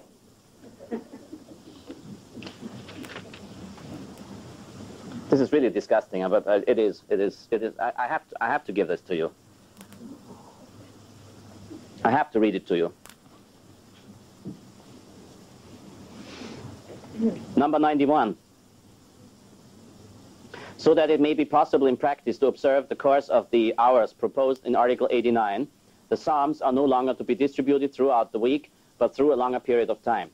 I mentioned before, and I said I will come back to this, that the priest in his breviary says the Psalms. That's why St. Gregory the Great wanted the bishops to memorize them. The oldest rule of the breviary is that you say the 150 Psalms in a week. That there may never be a week in your priestly life without having said all of the 150 Psalms. Number one purpose of the breviary is that some ultra traditionalists who go far beyond what uh, is due and what is right criticized St. Pius X for having reformed the breviary. They say this was against the explicit will of Pius V. St. Pius V, and here we have an example when it is needed to reform things according to the times. When St. Pius V was Pope, priests did not have cars. Priests spent a lot of their time walking, traveling. In those days, you had to walk to the next village. A priest has to say prayers seven times a day. He has to give praise to God seven times a day in the breviary. Prima, tertia, sexta, nona, vespere, completorium, matutine, laudes. Those are what is called the hours of the breviary. In the old days, in order to enable the priest to be able to say at least part of this breviary every day without needing the text of the breviary, the prima, tertia, sexta, and nona, as the name says, the prayers that should be but do not have to, that should be said at 7 o'clock, 9 o'clock, 12 o'clock, and 3 p.m. Those prayers were the same every day except Sunday. So priests, after a while being priests, memorized them, and on their way to the next parish or the next church, could recite them by memory. Also, in those days, it was very difficult and very expensive to obtain a printed breviary. In the 20th century, to obtain a printed breviary is neither expensive nor difficult, except if you want an old breviary, then it might be difficult today, but that's not the point. At the time of uh, St. Pius X, it was easy for a priest to receive his, to, to obtain a, a breviary, and Pius X did not write up a new breviary. He re restored the breviary to a new organization of the Psalms, a new distribution of the Psalms during the week. So you did not repeat the same Psalm all uh, over and over again, Monday through Saturday, but you just said the 150 Psalms. Before St. Pius X, the prayer at night did not have nine, but 12 Psalms. It was endless. And during the day, you repeated the same Psalm over again. Pius X rightly understood that the purpose of the breviary is to make you say 150 psalms during the week. Not 170 and not 130. This is now the purpose of the breviary. But here, here, what Vatican II says, 91. So that it may be possible in practice to observe the course of the hours proposed in Article 89, possible in practice. That means because the priests today are drowned in bureaucracy and paperwork, so they don't have time for the breviary anymore, the, for the old breviary, so the breviary had to be shortened and made simpler. The, the, the psalms are no longer to be distributed throughout the week, but through a longer period of time. Now a priest says all the 150 psalms, excuse me, 147 psalms, because the council considered, uh, the, not the council, the, the liturgical reformers considered three psalms, I've forgotten the number, that condemned the heretics to hell, scandalous, and took them out of the breviary. So in the new breviary, you have 147 psalms, not 150. This is against a standing tradition of 2,000 years in the Latin Church. And now the priest says 150 psalms in three weeks, or four weeks, I don't remember. This is against the standing tradition of 2,000 years in the church. This is, at first sight, it means nothing. But if you give it a closer look, this is one of the most scandalous paragraphs of this document. In number 92c, the Council says, the accounts of the martyrdom or lives of the saints are to be made historically accurate. That means we have all been fed, you know what, uh, until the Council. Fairy tales, fairy tales. And now we have a scientific platform. Now our breviary is giving us a scientific account of the saints.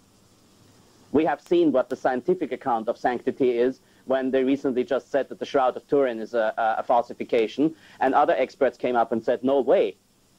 They were just wrong about the, the carbon-14 method. This is modern science. In 1989, you say this is the way it should be. In 1997, you say no, they were absolutely wrong. And in 2003, they will again come up with a new theory. Uh, I trust tradition.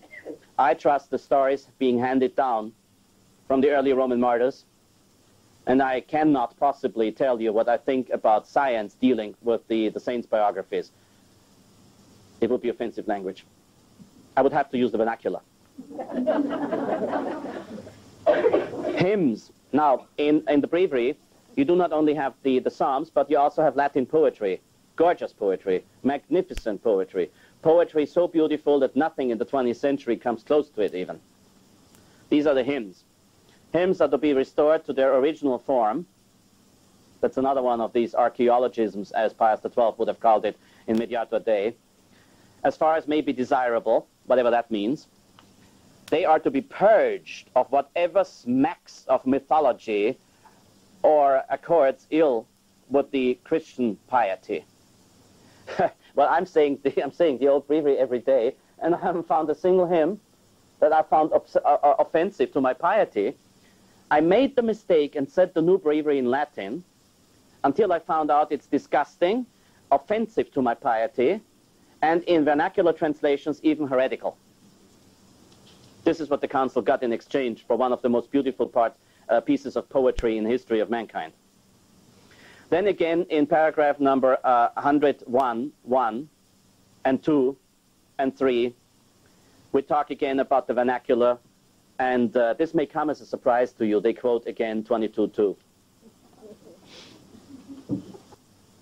Number 112 says, The Church indeed approves of all forms of true art which have the, uh, the requisite qualities and admits them into divine worship. This is why churches today look what they look. I recommend you an ex extended tour through New England. These New England villages are so cute, they're so beautiful. You have all the Protestant, heretical, and, and uh, very often pagan churches there, beautiful buildings.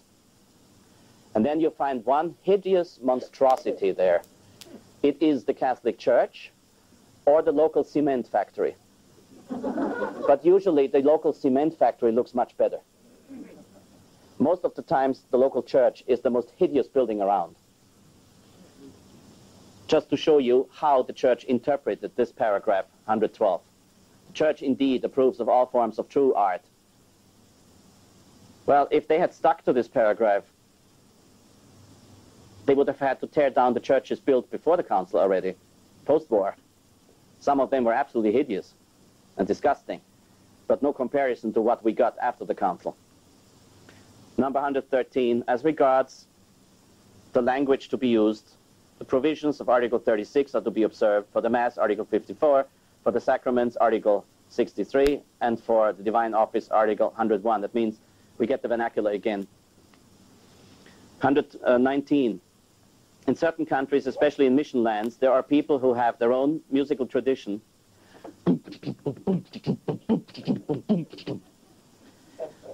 And, these, and this plays a great part in their religious and social life. For this reason, their music should be held in proper esteem. Oh, when the saints, when the and on. And this plays a great part in their religious and social life. For this reason, this, should, this music should be held in proper esteem, and a suitable place be given to it not only informing their religious sense, but also in adapting worship to their native genius. That's the native genius. As indicated in Articles 39 and 40. my talents of imitation are not good enough to give you another uh, other examples of different type of Aborigine music that you will find now inserted in mass. Not that I'm against uh, against local traditions, believe me. Actually, I'm a real fan of country music. I am. But if I hear it in church, I get sick. Life is like a mountain railroad with an engineer who's brave, and so on. Keep your hand upon the throttle from the cradle to the grave. Therefore, in the musical training of missionaries, great care should be taken to see that they become competent in promoting the traditional music of these people, both in schools and in sacred services, so far as it may be practicable. Offertory. It's local music, isn't it? Why not have it at the offertory for change? But other instruments also may be admitted for use in divine worship. This is what I meant. Drums, guitars, guitars. In the judgment, electric guitars, mind you. In the judgment and with the consent of the competent territorial authority, as laid down, this is very new to us here, in Article 22.2. this may be done, however, only on condition that these instruments are suitable and or be made suitable for sacred use. Well, they certainly made all these instruments use, suitable for their kind of sacred use, and that they accord with the dignity of the temple. Yeah, that's what I would call it now, the dignity of the temple, and they truly contribute to the edification of the faithful. Saint Pius X wanted Gregorian.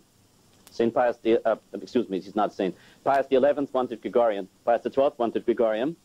Paul VI made a feeble attempt to make it believable that he wants Gregorian. Well, I haven't heard Gregorian in a long time. Number 123 is again another paragraph on inculturation. The art of our own times from every race and country shall also be given free scope in the church. They did that. Provided it bring to the task the reverence and honor due to the sacred buildings and rites. Thus it is enabled to join its voice to that wonderful chorus and praise in honor of the Catholic faith sung by great men in past ages. How was this? They will say, vicious, vicious Dr. Hesse again says that the council wanted all the, all the, one, all the, the, the, the disgusting new churches. Vicious Dr. Hesse again is not able to distinguish an abuse from what the council wanted. I say again, I am not the interpreter of the council. The popes and the, the popes and the bishops are. I have, it has not come to my notice that the pope would have condemned any one of these hideous churches, and that he would have told the bishop, do not consecrate this. In the canton of Zug in Switzerland, Z-U-G, the local bishop consecrated a church on which walls there were obscene drawings. He did not ask for the removal of these drawings. He said, put up a few curtains. Then he consecrated the church. There are consecrated new Catholic churches where a swimming pool is to be found under the altar. Switzerland again. This was in the 1970s. In number 128, Council says, the canons and ecclesiastical statutes which govern the provision of external things which pertain to sacred worship should be revised as soon as possible, together with the liturgical books as laid down in Article 25. These laws refer especially to the worthy and well-planned construction of sacred buildings, well-planned, the shape and construction of altars, the nobility, placing, and security of the Eucharistic tabernacle, the suitability and dignity of the baptistry, the proper ordering of the sacred language, of the sacred images, I'm sorry, and the scheme of decoration and embellishment. Uh, the next paragraph, I spare you the next paragraph, 22.2.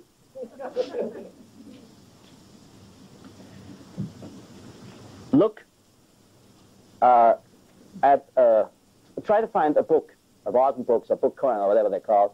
Try to find a book on recent ecclesiastical architecture and flip through the book and compare the interiors of modern churches. Now, of course, they're very, very different from each other because every architect wants to present his masterpiece of art, and uh, so he makes sure that he doesn't copy uh, uh, other people's uh, um, uh, plans. But you'll always find the same hideous altar facing the people, with two ashtrays and candles on one side, flowers on the other. You will find the ambo where uh, Madam Reader reads the readings. And you will find the tabernacle somewhere over there. And in many churches, when you look into the church, you will not know where to find the center of the church. It's an octagon, it's a polygon. There's the altar here, the ambo over there, tabernacle somewhere there. You enter the church, you have to search, not just to look, to search for the tabernacle. Where is the tabernacle? Most of the times you will not find the tabernacle because you're not able to imagine that such a hideous thing could be a tabernacle. You will find the altar, not like, I mean, we, we are not celebrating Mass here, and yet this table is, uh, it's, it's symmetric, it's centered. Uh, with some churches, you will find the altar over there, then the tabernacle over there. It must never be in the middle, you know. Tabernacle over there, and the ambo right here. But then it might not right, be right here in the center. It will be somewhat off center. This is the interpretation given to the vast majority, uh, to give, given to this paragraph by the vast majority of bishops. Because as you should know, no church can be constructed and consecrated without the bishop's approval. The majority of the churches in our days look like I described them. So this is the authentic interpretation. The Pope has never refused to celebrate in one of these hideous monstrosities that are rightly called temple here and are not churches. Again, I do not interpret this, they do. And to conclude this torturous reading of one of the most imbecile documents in church history, I read the appendix to you. Why? I'm sure you heard the term time bomb. Archbishop Lefebvre said that there are many things in Vatican II that you should consider spiritual time bombs. They don't mean much in the context of the council, but they can be interpreted in a way that will be disastrous.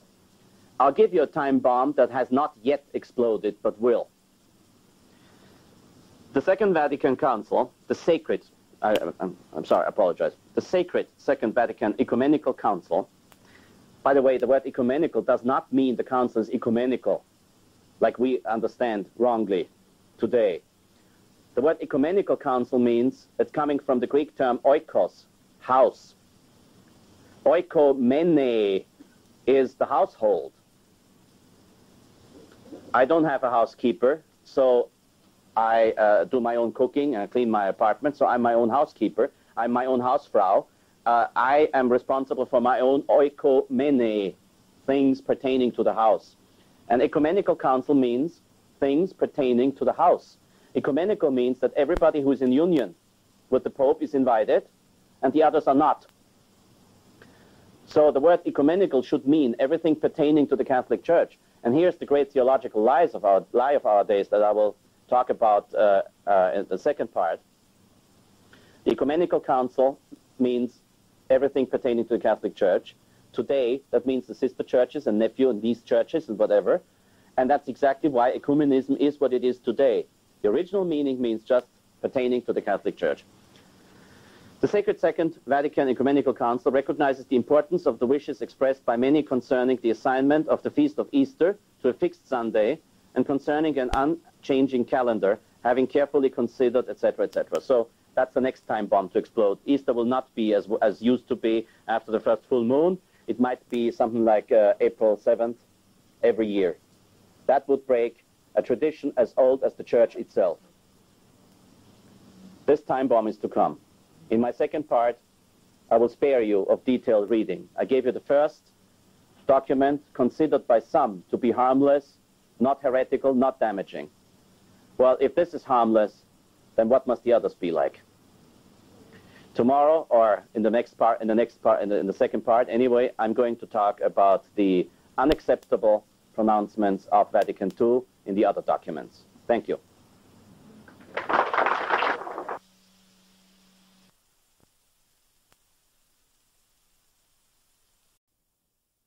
Like a Monsignor. Um, the Basilica of St. Peter's in Rome, where I was ordained, has a privilege given to, I think it was Pope Urban VIII who did it, that whoever is ordained in the Basilica of St. Peter's may dress as a Monsignor, but he doesn't have the title. So I dress like a Monsignor, but I'm not a Monsignor. I'm Father Hesse. And uh, or Father Gregory, if you want to call me Father Gregory, go ahead. It's fine with me. And uh, but uh, privilege is given to a place, and not at the discretion of the one who holds, holds them. That's according to canon law. And the privilege has been given to the place. So I use the privilege, except in uh, Advent and Lent, if somebody gets me a cassock that's all black. And uh, this explains my dress. I'm sure that the same people who complained about my wearing black BDUs on the other tape are going to complain about my violet sash now. This here. Let them. If they have nothing else to worry about, they must be very happy people. I've shown you, and I'm sure it was tedious and boring for some, but it had to be. I've shown you how the council operates, how the council fathers, the experts, and the theologians dealt with something as sacred as tradition. I've shown you that they are, objectively speaking, totally dishonest in this council and contradictory to themselves. Now, going on in analyzing the, uh, the documents of the very same council, rest assured, I will not bore you with a full reading anymore, because actually uh, the document on liturgy is somewhat interesting to all of us because we suffer from the results of it. But uh, the other documents in the council are so deadly boring that I might fall, fall asleep right through the lecture of it. Uh, I, I, I, will never know. Uh, I'm a man who likes to read uh, Tom Clancy and Clive Cussler and uh, the real stage turners, you know what I mean? I will never find out what, and maybe the Holy Spirit, but I don't believe in personal inspirations. Maybe it was just the grace of God that enabled me to study this incredibly boring book five times over. I hope I've never have to do it again, but I, I fear, I'm afraid I might have to. Uh, the council is incredibly boring, incredibly loquacious, and packed with blah blah and what we call verbal diarrhea. Excuse me, but that's what it is. It doesn't say much, and the few things it says were disastrous, as you will see.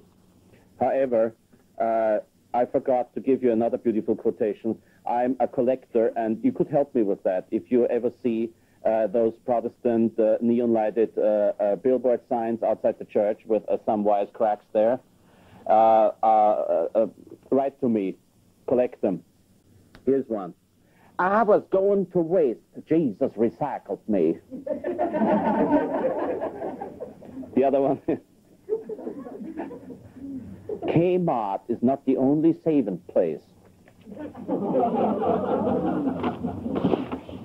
Sorry about that digression from scientific precision. As an appendix to uh, the uh, to what I said about uh, Vatican II and liturgy, I have to clear up a mistake.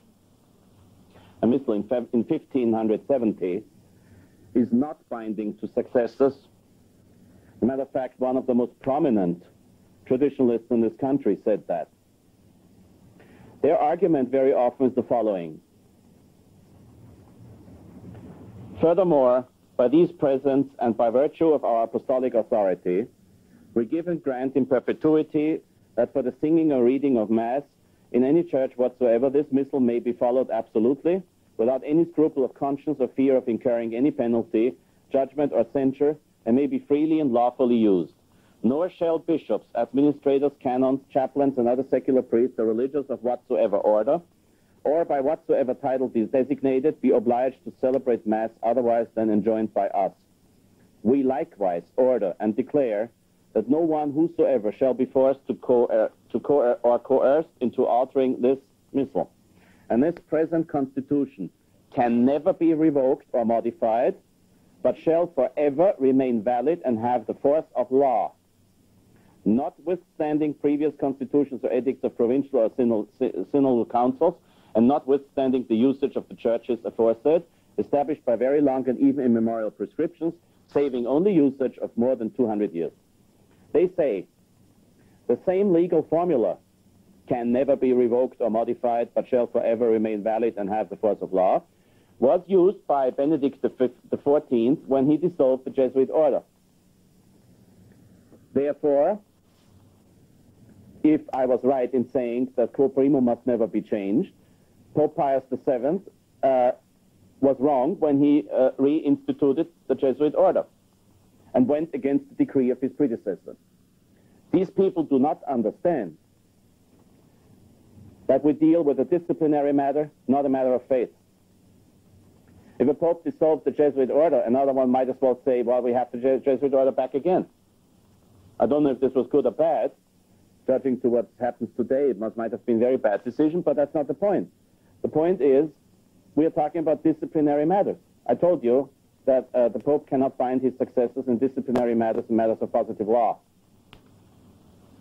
The way how Mass is said, however, is not a mere question of discipline and positive law. If the oldest liturgical law of all is uh, lex orandi, lex credendi, the law of what has to be prayed determines the law of what has to be believed, then Holy Mass is not only a question of faith, but the basis of faith. If you change Holy Mass around, and if Holy Mass is not what it was, then you have a different basis of the faith.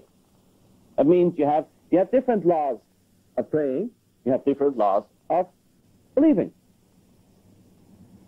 So, when a pope uses a formula like this on the question if I may wear violet buttons or not, his successor might as well say, I don't care.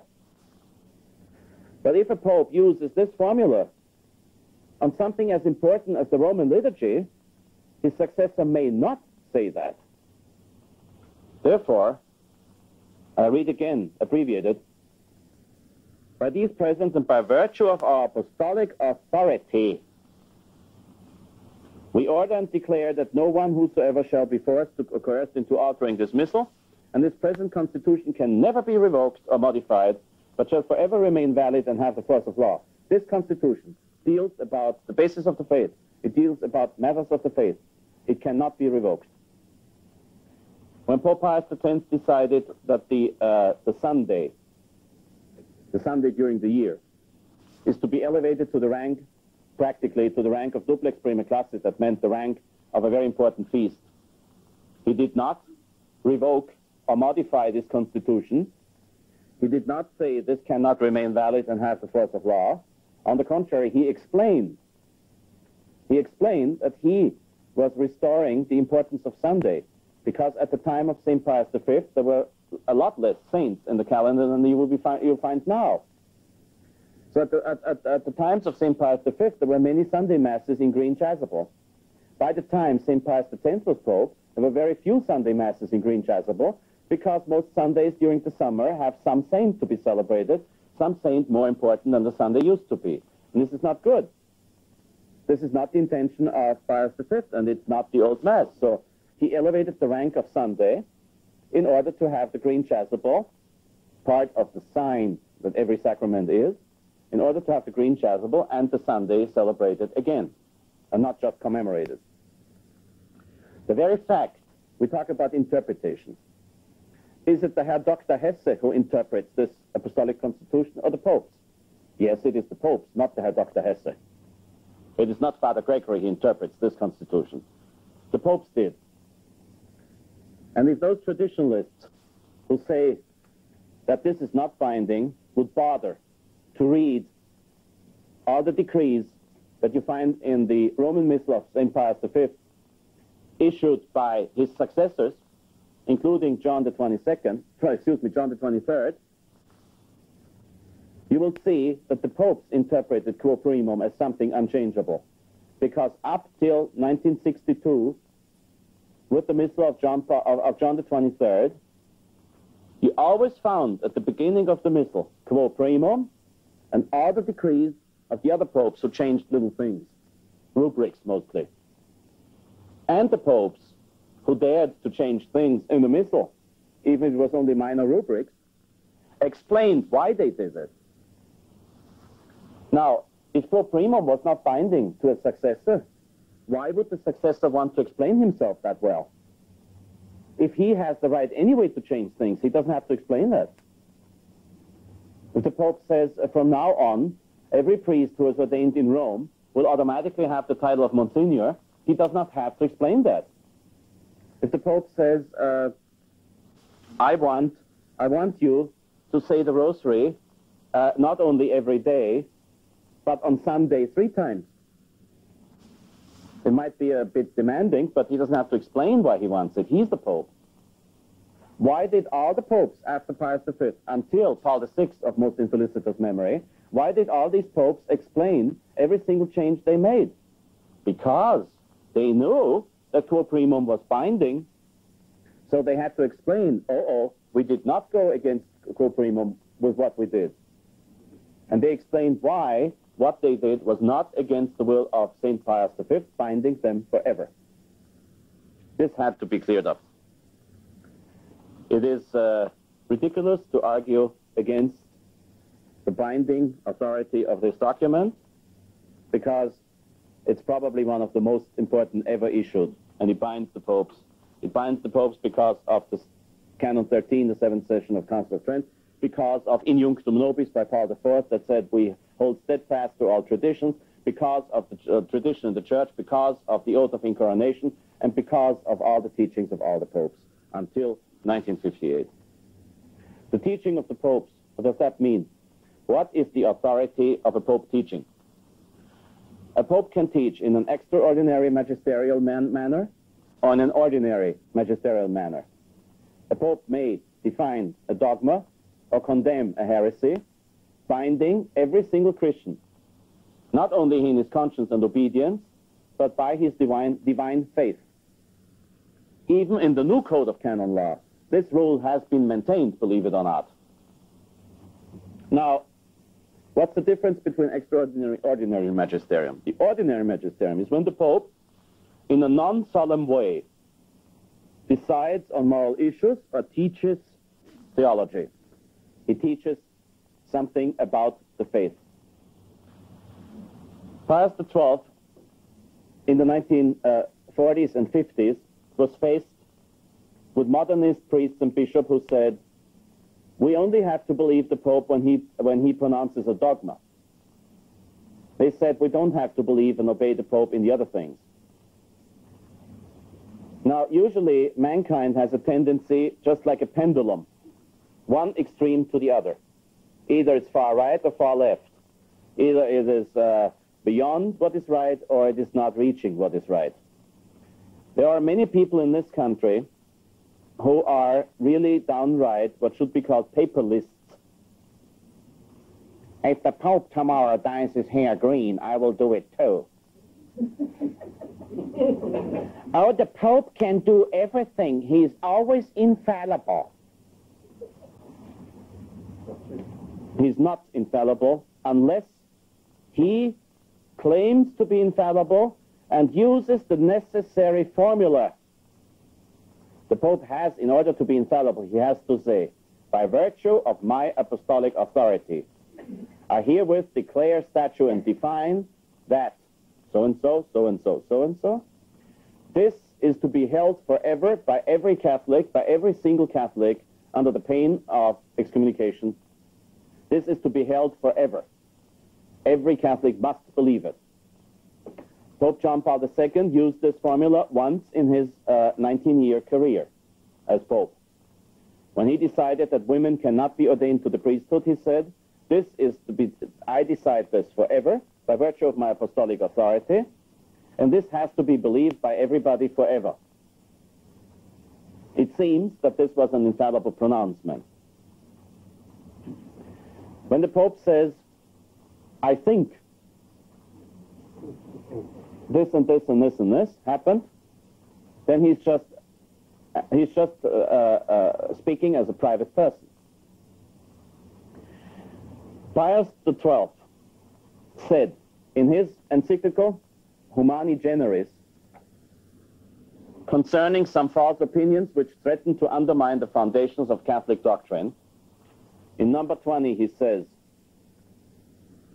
Nor must it be thought that what is expounded in encyclical letters does not of itself demand consent since in writing such letters the popes do not exercise the supreme power of their teaching authority. Give you the sign where to, uh, to, to, to, to, repeat, where to continue with the text. And generally what is expounded and inculcated in encyclical letters already for, for other reasons appertains to Catholic doctrine. But if the Supreme Pontiffs in their official documents purposely pass judgment on a matter up to that time under dispute, it is obvious that the matter, according to the mind and will of the same pontiff, cannot be any longer considered a question open to discussing among theologians. I want to see who dares now, after having heard this, still to say that the Pope cannot bind his successor. In the ordinary magisterium, that means with an encyclical. The Pope says here, in writing such letters, the popes do not in, in, exercise the supreme power of their teaching authority. But generally what is expounded and inculcated encyclical letters already for other reasons appertains to Catholic doctrine. But if the Supreme Pontiffs in their official documents purposely pass judgment on a matter up to that time under dispute, it is obvious that the matter, according to the mind and will of the same pontiffs, cannot be any longer considered a question open to discussion among theologians. When Pope Paul VI wrote Humanae Vitae, he did not pronounce a dogma. But no future pope may ever dare to say that artificial contraception is all right. When Pope Pius IX condemned all kinds of heresies in his syllabus of errors, he did not proclaim a dogma.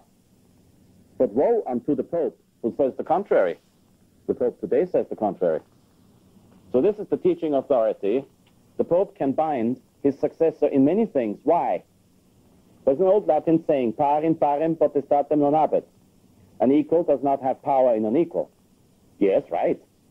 That's why, in all things that are left up to the individual Pope to decide, he cannot find his successor. But when the Pope says, this here, from now on, has to be considered part of tradition. He doesn't have to say that verbally, literally. He just has to say, we condemn this error, we don't want this to be discussed any longer, and I herewith say that's what it is, or that is what has to be done by all Christians, by all faithful. Then he's making this part of tradition. Now the tradition, tradition does not grow, excuse me, tradition does not know change. We'll talk about this in the next session. Tradition is something that has been concluded with the death of the last apostle. So the Pope does not add anything to tradition. He just says this is part of tradition, this always has been part of tradition, and now that he has said that, no successor may say anything to the contrary. Never, ever. When the Pope in 1950 made the assumption of Our Lady a dogma, again he did not say anything new. The apostles were witnesses to the empty grave. The church has always believed that Our Lady is in heaven with body and soul. And uh, even before Pius XII proclaimed it a solemn dogma, Pius IX would not have had the right to say, no, this is not true. He would have put himself outside the church. The popes are absolutely bound to tradition. And this is the reason why Vatican II is unacceptable. We will now, and that's the last thing for today, analyze some of the most important points of the dogmatic constitution on the church. Vatican II, Lumen Gentium, again, the first two words of the document, November 21st, 1964. It is not an irony, but providence of God that November 21st, 1964, Vatican II pronounced the worst of all heresies, and November 21st, 1974, on the 10th day of this horrible document, Archbishop Lefebvre pronounced the principles of the Society of St. Pius X, saying that we hold steadfast to tradition that we are faithful to the eternal Rome, not the modernist Rome of today. What is this modernist Rome of today teaching? It talks about the mystery of the church. Since the church in Christ is in the nature of sacrament, a sign and instrument that is, of communion with God and of unity among all men, she here proposes, etc., blah, blah. This is number one of Lumen Gentium. Is the church in the nature of sacrament? No. There are seven sacraments in the Catholic Church. There is no Christ sacrament, church sacrament, seven sacraments. We have seven, not nine sacraments. I know I will be called a rigorist again, but the dogma has to be taken at face value. And Trent defined there are seven sacraments, and whosoever says there's another thing but the seven sacraments, let him be accursed, anathema sit. The church is not in the nature of a sacrament, but it is a perfect society. We'll see that later. The church is not a sign. The church is an instrument, absolutely, yes. But the church is not a sign. The church is not symbolic. It's a reality. It's a perfect society on earth. It's the instrument with which Christ saves. You cannot call it a super sacrament for that. It is the perfect society, the instrument which contains and administers, as the only legitimate one, seven sacraments. It is definitely an instrument of communion with God, but it is not an instrument of unity among all men. The church is as much an instrument of unity among all men as I am Pope. I am Pope potentially. The church is potentially an instrument of unity among all men. Actually, it is not. Christ said that he will cause wars, divisions, fights, family members fighting family members. He said, who is not willing to hate his own brother, mother, father, son, in for my sake is not worthy of me. He didn't mean the word hate in the sense we understand it today. The Latin word odire might as well mean avoid. Sometimes family members have to avoid other family members because they have the faith and the other ones don't. Christ did not come to unify all of mankind necessarily. He only wanted them unified in the faith, not outside. So uh, the church may be an instrument of unity among all men, but it definitely won't be. Non veni pacem mittere sed gladium. I did not come to bring the peace, the peace, but a sword. Then we are faced with a new concept of the church here in number five. This is not heresy. It is just truckloads of you know what. While she, the church, slowly grows to maturity, the church longs for the completed kingdom and with all her strength hopes and desires to be united in glory with her king. How does the church grow to maturity if she's a perfect society? The church cannot grow to maturity. The church is infallible. The church is indestructible. The church is perfect. The church cannot grow to maturity. Pope Pius XII, in the same Humani Generis, said it is uh, a daring and wrong concept to say that the church can grow in experience and maturity. He condemned that. He said the church is perfect. The church is indestructible. Christ said, et portae inferi non prevalebunt adversus eam, Matthew 16, 18. And the gates of hell shall not prevail against her. With this statement, I have to add uh, a parenthesis right here. If the church is infallible, if the church is perfect, and if the church is indefectible, then why do I say that the, the priests, the bishops, and the Pope today are off their track, are in material heresy, material schism, and in a way do not belong to the church? Because they don't. The church is indefectible, not their members. I am not indefectible, I am not infallible, and I am not perfect. I realize that every time I go to confession, how perfect, indefectible, and infallible I am. The, the members of the church are not indefectible. The hierarchy is not indefectible as far as the hierarchy is uh, consistent of members. The church herself is a perfect society. The church herself is indefectible. Then, uh, if the church is at the same time visible, where's the church to be found? I understand. It's confusing. It's complicated. Is Cardinal Archbishop Mahony. is he the Cardinal Archbishop of Los, Los Angeles? Yes, he is. In, in a, he's appointed Cardinal Archbishop of Los Angeles, but is he Catholic? No, he's not. Materially, he's schismatic and, heretic, and, and a heretic. These people do not belong to the church. Pope Innocent III said, it is quite conceivable that the future pope may teach heresy and put himself outside the church. Pope Innocent III did not say he ceases to be pope. He said, it's quite possible that the future pope may teach heresy and put himself outside the church, in which case we, do not, we must not follow him. And he said the very fact that the Pope cannot be judged by any authority on earth should remind the Pope of the fact that the less somebody is judged by human beings, the more he will be judged by God. The church is a perfect society as such, not in a majority. This is a horrible democratic concept of the church. A father in this country, a priest in this country, whom out of charity I do not want to name, said that Father Hesse obviously knows it, and the priests and all the bishops don't. Okay, if that's a point of reasoning, then we might as well draw up a new charter of the church as a democracy. I mean, not even this country is a democracy. It's a constitutional republic if you take the Constitution serious, which the president doesn't, nor her husband. But uh, this country is a constitutional republic. It's not a democracy.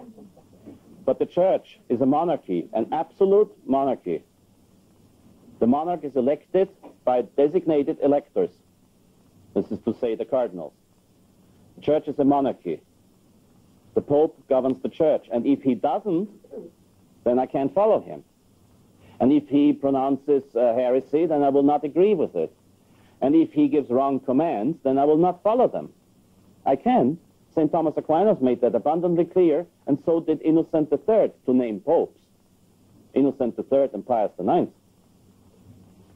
And uh, indirectly, Eugene IV. I cannot follow him, and I will not. But the church herself is indefectible. And she's not governed by a majority, but by tradition.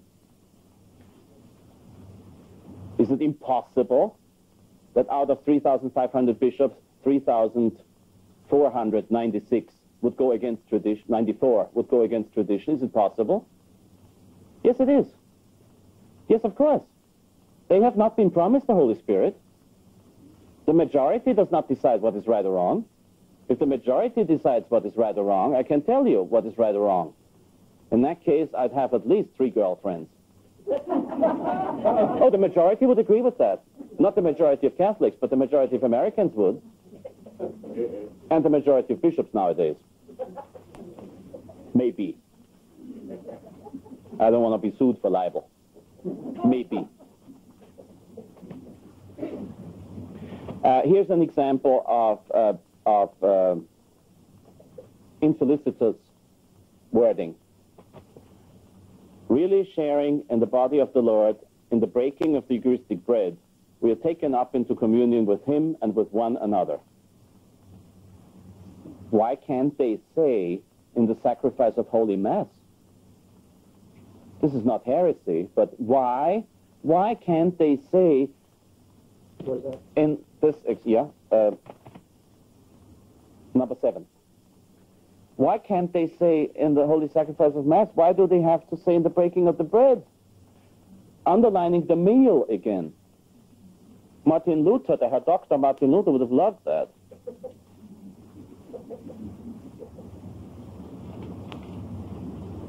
Now we come to something that is not just an infelicitous wording, but downright heresy. Number eight. Lumen Gentium number 8. In the second paragraph, I read, This is the sole church of Christ, which in the creed we profess to be one, holy, Catholic, and apostolic. They say that, yes, but how? which our Savior, after his resurrection, entrusted to Peter's pastoral care, commissioning him and the other apostles to extend and rule it. Him and the other apostles. Here we got the concept of collegiality. Christ did not say, You are Peter, and upon all of you I will build my church. No, no.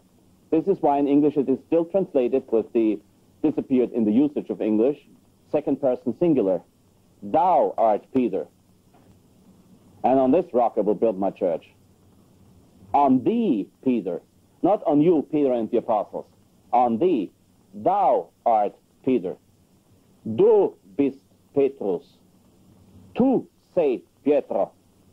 Tu es Petrus, et superhang Petram edificabo ecclesiam meam, et porte inferi non prevalebunt adversus eam. Tu es Petrus. Not vos estis Petri. Vois iete per Pietro. Vous êtes Pierre,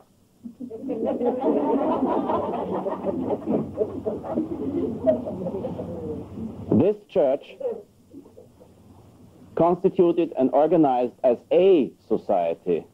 Why did they have to say a society? It's not a society, it's a perfect society. It is the only perfect society. It is at least, if you don't want to, if, don't, if you want to avoid the term perfect, at least say the society.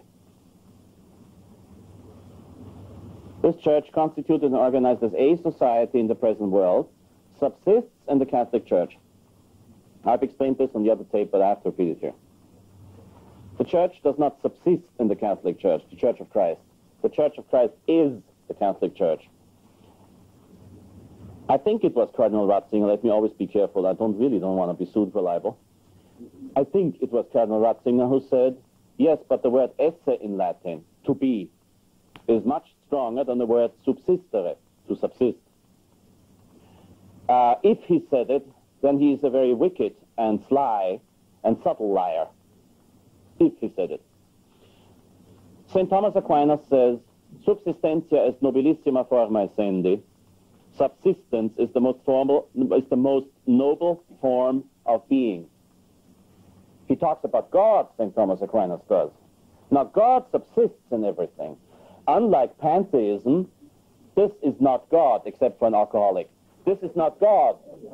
But God subsists in the existence of this bottle.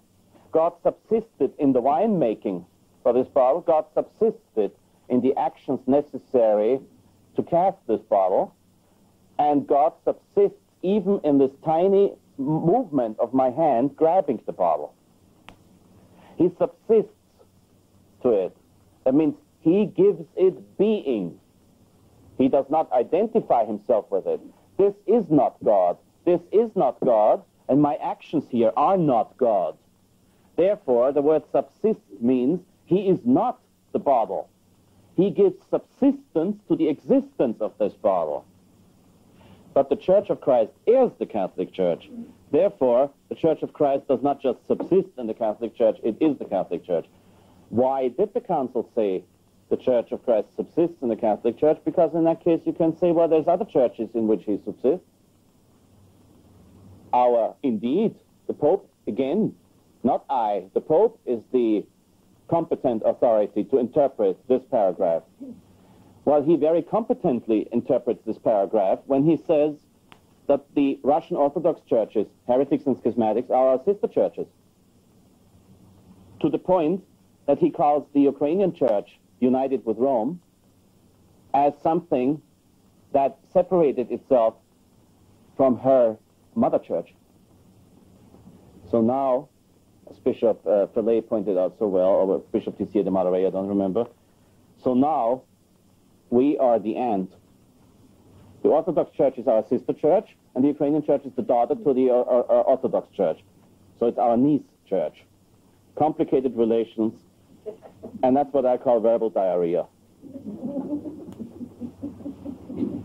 Why does the church subsist in the Catholic Church? That means it subsists to other churches too, the, Church of Christ, because it says in the same number eight, nevertheless, many elements of sanctification and of truth are found outside its visible confines.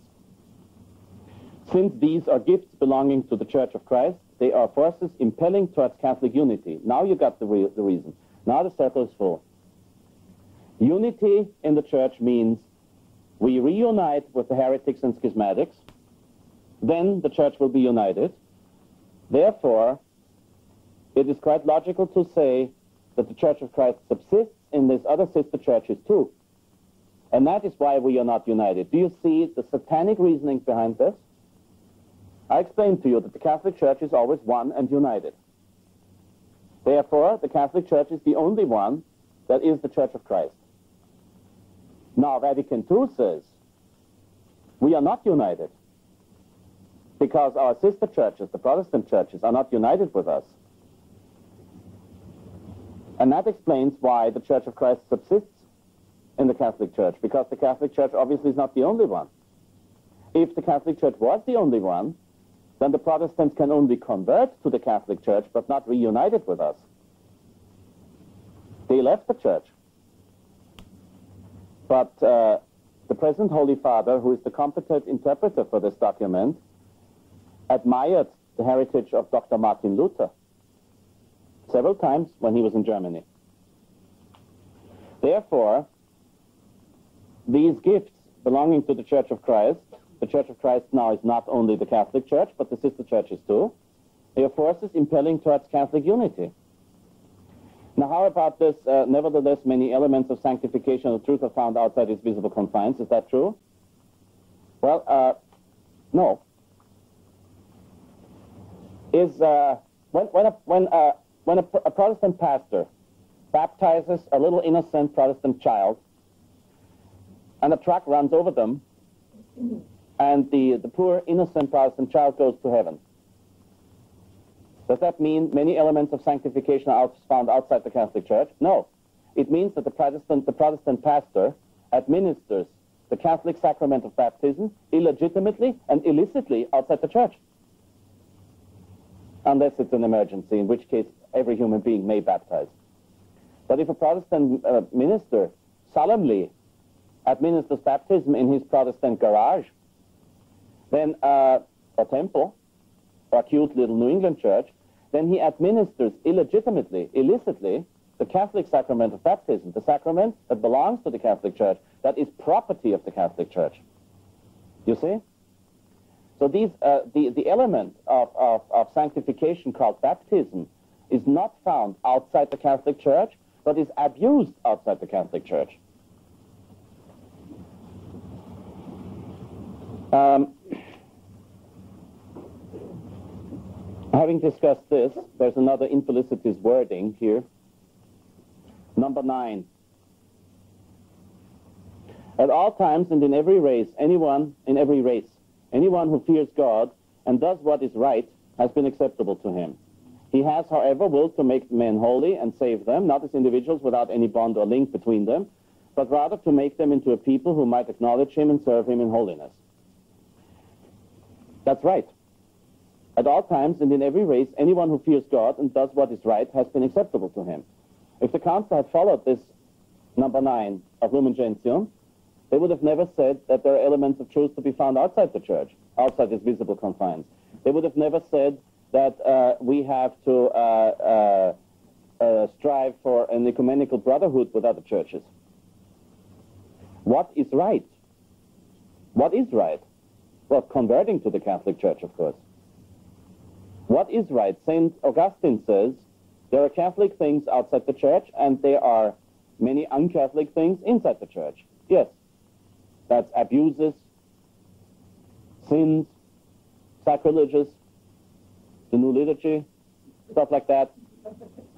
Un-Catholic elements inside the church, if it's still inside the church. And there are Catholic things outside the church. Oh yeah? I found one of the most beautiful sermons on the devil in St. Thomas Church in New York, which is Episcopalian. They still talk about the devil. The pastor there, may he convert to be a Catholic one day. I would hope, I would hope for that because he seems to be a good pastor. The pastor of uh, the rector of St. Thomas Church in New York, Fifth Avenue, 52nd Street, uh, you find these sermons, uh, you just uh, donate a quarter and you take the sermon back home. Very beautiful sermon on the power of the devil, on the traps the devil sets in order to make us perish our soul. Excellent sermon. So that, that is a Catholic element outside the Catholic Church. But it's not an, an element of sanctification. It is a help for conversion. It is something that exists outside the Catholic Church, and for a sheer coincidence, not because of destiny, might be a help for conversion. This is how this is to be understood. When St. Augustine says there are un-Catholic things in the Church and Catholic things outside her. Now we come to new terminology. Number 13. The one people of God is accordingly present in all the nations of the earth. Mind you, in the same paragraph it says, the church or people of God. That means now uh, the people of God is a new expression for the term church. It's a new term. Church is identical with people of God. And this church, therefore, is present in all nations of the earth. That's at least optimistic, if you ask me, because as far as I know, in the Republic of Bhutan or the Kingdom of Bhutan or whatever it is, B-H-U-T-A-N, uh, Catholic priests are not allowed there. In the Soviet Union, the Catholic uh, priests were not allowed. Was the Catholic Church present? In a way, yes, underground. But the Council doesn't say underground. It is a new terminology. Now, everybody who wants to be holy belongs to the Church. Holding a rightful place in the communion of the Church, there are also particular churches, now you got it, that retain their own traditions without prejudice to the chair of Peter, which presides over the whole assembly of, of charity. Do, does this paragraph mean the Oriental churches that are united with the Pope? It doesn't say. A defender of the council will say, of course, they mean the ones who are united with Rome. But then, some of them, and the Pope, starting with the Pope, say, oh, uh, the Russian Orthodox Church, definitely not united with Rome, but it's a sister church. See, it's, uh, it's confusing. I don't know what to make of it. Number 14. Basing itself on scripture and tradition, it teaches that the church, a pilgrim now on earth, is necessary for salvation. Fine, I'm glad they say it. In number 14, in number 16, they don't. He is present to us in his body, which is the church. A pilgrim on earth. What's the purpose of a pilgrimage? To find grace and enlightenment, to improve, to mature, to mature your spiritual life, to improve your spiritual life, to get better. Same mistake as before. The church is perfect. She cannot be a pilgrim of her. One thing follows the other. The church knows that she is joined in many ways to the baptized who are honored by the name of Christians, but who do not, however, profess the Catholic faith in its entirety. It means the heretics. And have not preserved unity or communion under the successor of Peter. That means the schismatics. So let's translate this and read again. The church knows she is joined in many ways to the heretics and schismatics. I would have liked the council to explain to me in what way uh, the church is joined to heretics and schismatics when the church says they are outside the church. The church dogmatically defines that they are outside the church. How can she be joined to them? This is to go back to the theological censures, this is not heresy, it is close to heresy. These Christians are indeed in some real way joined to us in the Holy Spirit. That is heresy and blasphemy. For by his gifts and graces, his sanctifying power is also active in them. Interesting and he has strengthened some of them even to the shedding of their blood. This is direct heresy against the Council of Florence.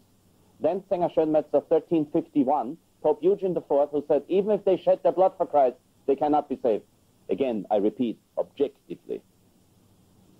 But the Council pronounces objectively, of course, because the Council, just like the whole Catholic Church, the Council cannot judge the dead. The Council cannot judge the internal intentions. The Council cannot judge souls. The council can only like the church can, only judge objective ways of getting of being saved. So the council here speaks objectively, by nature, objectively. These Christians are indeed in some real way joined to us in the Holy Spirit, for by his gifts and graces his sanctifying power is also active in them, and he has strengthened some of them even to the shedding of their blood. This is the exact contrary of what the Council of Florence says. Therefore, the Council right here is in heresy. Now, how about all the poor Japanese who have never had a Catholic missionary until the year 1500 something? I don't know. Leave me alone. Give me a break. I don't know. The church doesn't know. We don't know. God doesn't tell us everything. God doesn't tell you what I say in confession. Thank God. God doesn't tell us everything. I don't know what happened to the poor Japanese until the first Catholic missionary showed up and baptized the first Japs. I don't know. And I don't even try to find out. I have other problems. People are so hung up about the Buddhist monks in Bhutan and the, the, the, Japanese until 1500 that they forget to save their own soul.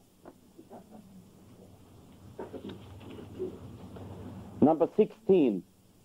Finally, those who have not yet received the gospel are related to the people of God in various ways. The church, that means. Those who have not yet received the gospel. It would have been nice if they had added potentially. They might convert and then they are in the church. So potentially they are related to the church. Potentially they are in the church. Actually they are not. There is first that people to which the covenants and promises were made and from which Christ was born according to the flesh. In view of the divine choice, they are people of most dear for the sake of the fathers, for the gifts of God, and without re repentance. The Jews, of course. Now, are the Jews related to the Catholic Church? I'm talking about the Jewish faith. I'm not talking about the individual Jew. Is the Jewish faith, whatever they call it, the Mosaic faith, or the different, the Hasidim and whatever, are they related to the church? No, they're not. St. Paul says quite clearly, the Jews rejecting Christ do not even see the truth of the Old Testament, but through a veil or a curtain. Do the Jews pray to the same God we do? No. Is the God of the Old Testament the same God of the New Testament? Yes. But as they do not accept the God of the New Testament, they also reject the one of the Old Testament because they are identical. You see? Those people who contradict me on this point, I've got them in a beautiful trap. Either you say the Jews do not pray to the same God, or the God of the Old Testament is not the same as the New Testament.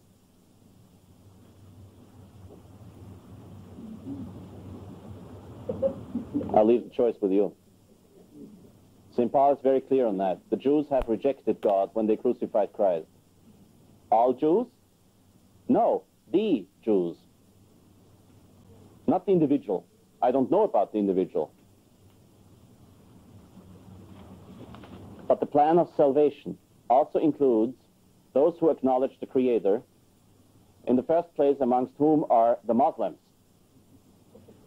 They profess to hold the faith of Abraham, and together with us they adore one merciful God. No, they don't. Here I've had heated discussions with people who do not understand the distinction of objective and subjective. The Muslims reject the New Testament in the sense the Catholic Church uses it. The Muslims pray against us to one merciful God. Each Muslim? No, the Muslim. The Council says, Musulmani nobiscum adorant unum Deum misericordiosum. And I've heard it, uh, uh, uh, one of the arguments that they use is, okay, that means all the Muslims will go to hell. I didn't say that. I don't know. That means the Muslims do not believe they are praying to the same God. It's not what I said. It's not what the council said. The council said they do pray to one merciful God together with us. If the council had wanted to stay with uh, outside heresy and within the faith, the council would have had to say The Muslims pray to one merciful God. They do. Allah is a merciful God in the Quran, and He's one God in the Quran. But it's not our God. St. Paul said, the God, the gods of the pagans are demons. Said that. He spoke about the pagan religions at the time of Christ, but then again, the moment uh, Muslims were not baptized anymore, they went back to paganism, and that is even worse, much worse, because it's apostasy. The Muslims are apostates. They reject the entire faith. The first Muslims were. Now the Muslims are neither apostates, nor heretics, nor schismatics. They're just pagans. Period. They cannot pray to one merciful God together with us. They pray to one merciful God, and they pray a lot more to one merciful God than the Christians do. They follow a lot more the funny precepts of the Quran written in the name of one merciful God than the Christians follow the New Testament. They are much more of an example in their religion than most Christians are in the true religion. But they do not pray together with us. It is absurd to claim that people who uphold the Quran are praying together with us to a merciful God. Objectively, they do not. The poor little Arab out there in the desert doesn't know what he's doing, maybe, and God one day might might say, okay, you tried, you tried your best. I don't believe it for a minute. But subjectively, he might pray together with me. Subjectively. He might think that he does so. He might do so, subjectively. Objectively, definitely not. Objectively, he follows a book that says the very idea of the Trinity is excremental. I'm quoting the Quran, pardon me. They follow a book that in Surah 47 says, kill the infidels, that means us. Objectively, they do not pray together with us, but against us. They pray for the parish of our faith, of our faith. They pray for the destruction of the Catholic faith. They pray for the destruction of the Catholic Church. They pray for the conversion of the Catholics to Islam. To call this, to, to, to say that they pray together with us, is therefore close to heresy in denying at least the importance of the dogma on the Trinity and incarnation, which the Muslims reject, and on the Mother of God, which the Muslims revere, but not as Mother of God, but as a holy woman. And it is definitely, by saying all these things, blasphemous. It insults God, it's offensive to pious ears. In number 18, the Council says, the holders of office who are invested with a sacred power are in fact dedicated to promoting the interests of their brethren. No, sir, they are not. I am not. I am not empowered, and the purpose of my being a priest is not to promote the interests of you. I am here to promote your faith and the interests of God. I'm here to promote your following the Ten Commandments which is at least as the sixth commandment is concerned, not your interest, really. Beg your pardon, but at least with most people, right? Starting with me. The sixth commandment is not my interest. My interest is to follow God and His orders, to say yes, sir, to God. I do not promote your interests, I promote your salvation, and therefore God's interest because God wants everybody to be saved but not without the individual's agreement. In number 22, no, it's not 22-2. in number 22, the council says, in it the bishops in the church, in it the bishops, whilst loyally respecting the primacy and preeminence of their head, that's optimism, exercise their own proper authority for the, for the good of their faithful, indeed, even for the good of the whole church, the organic structure and harmony of which are strengthened by the continued influence of the Holy Spirit. The supreme authority over the whole church, which this college possesses, is exercised in a solemn way in an ecumenical council. The College of Bishops doesn't possess any supreme authority, only the Pope does. And then they say, you see, this is the, a it's a devious way of thinking, talking, writing, and preaching. when the bishops, together with the Pope, decide on something, the supreme authority of the whole church is talking. Yes, because, why? The same council later on says it. Because of the authority given to the Pope. So the supreme authority in the church is not the College of Bishops, but the Pope. The same council says if the College of Bishops decides without the Pope or against the Pope, it's not valid. The decision is not valid. Therefore, why, why? Why does the council say here the supreme authority over the whole church, which this college possesses? The College of Bishops does not possess any supreme authority. The Pope has it, and only because the Pope has it, the College of Bishops has it as long as they confirm what the Pope says and agree with what the Pope says, or have their pronouncements confirmed by the Pope.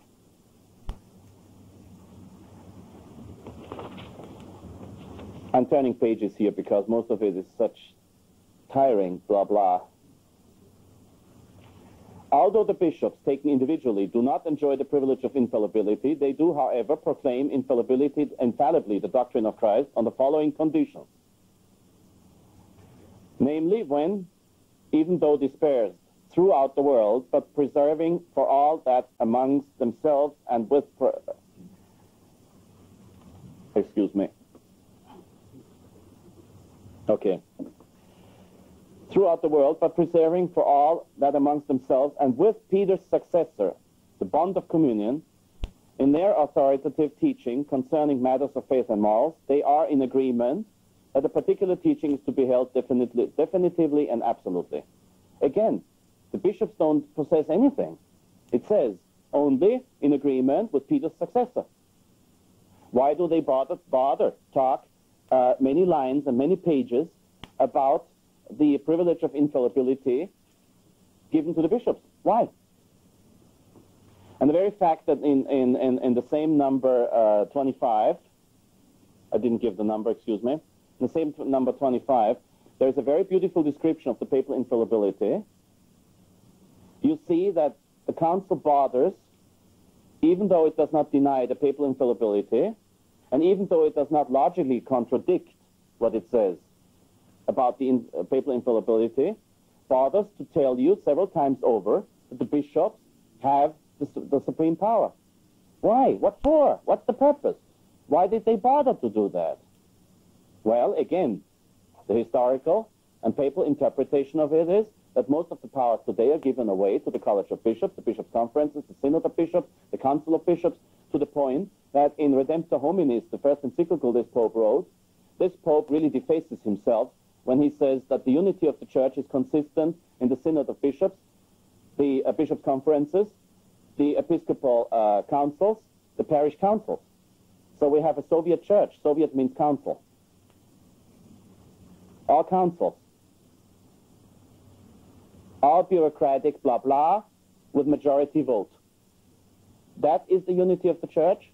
But according to Redemptor Hominis, it is. In Redemptor Hominis, the Pope does not mention the unity of faith, the unity of the liturgy, and the unity under Peter. No, he mentions the unity of the church as something consistent in the episcopal conferences, the, the local conferences, the local synods, uh, the, the uh, parish councils, the episcopal councils, the priestly councils. That means we have a committee church. And now the Vatican is the central committee. This is the Soviet Union in the church. And the purpose of the collegiality is, indeed, to weaken the power of the papacy. You will read about this in Father Paul Kramer's book. In uh, number, this is an extensive number, 29, at the end of number 29, now the Council finally starts to make proposals. It will be possible in the future to restore the diaconate as a proper and permanent rank of the hierarchy. The Council of Trent did not want that. But it pertains to the competent local episcopal conferences. This is 22.2 again. of one kind or another, with the approval of the Supreme Pontiff to decide whether and where it is of opportune that such deacons be appointed Should the Roman pontiff think fit, it will be possible to confer this diaconal order even upon married men, provided they are they be of more future, more mature age, whatever that means. I've met imbeciles at the age of 80.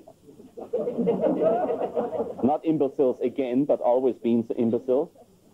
And also on suitable young men, for whom, however, the law of celibacy must remain in force, at least that. Uh, this is destruction of the diaconate, because the diaconate is a, is a, a state of orders towards the priesthood. The Council of Trent explicitly said, we do not want you to give minor orders to people who do not strive for the priesthood. And that's they rightly so, because believe me, celibacy is not easy. You need the graces of the office. And the graces of the office come with the priesthood, not with some benedictions. They come with diaconate, but not as much as a priest gets them. Also, uh, if somebody wants to live a celibate life, why wouldn't he want to become a priest anyway? Unless he becomes a brother in a monastery, which is entirely different, not to be compared to the diaconate. And again, the council does not talk about the minor orders. Consequently, Paul VI attempted to abolish them, attempted, I say, because he did not outlaw them. First, second, uh, he, his uh, decisions is invalid anyway, because uh, the subdiaconate at least goes back to the time of the apostles. Everything that has been said of the people of God is addressed equally to laity, religious, and clergy. Where's the hierarchy? I mean, I'm, I'm very glad if at the last judgment I'm judged exactly as you will be. I'd be glad about that because I know it won't be that way. I'm a priest. I'm above all of you. So I will be judged first, and I will be judged a lot more harshly than you will. But make no mistake, hell is hell, wherever you end. The rest is blah, blah, blah, blah, blah, blah, blah, blah. The Pilgrim Church, an entire chapter on the Pilgrim Church. I'm not going to bore you with this. Then finally, there's an appendix, chapter 8, on Our Lady. Many council fathers wanted the council to speak in a separate document on Our Lady. Cardinal Koenig of Vienna said, no, there's need, no need for it. And believe it or not, by the time the council was finished, I think some people would agree with me when they say, thank God the council at least didn't say much about Our Lady. Nothing good would have come out of it anyway. At the end of this document, which is ending my conference today, at the end of this document, there's an explanatory, explanatory note.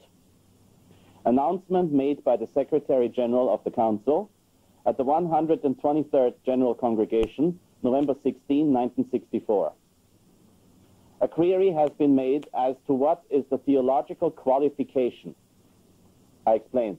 Remember when I said, when I talked about the positions of, uh, uh, the theological positions, when I said something is of divine faith, defined faith, close to the faith, sententia certa, a reasonably sure, we're sure about it, or it's just probable. This is what is mean, what's meant here, theological qualification.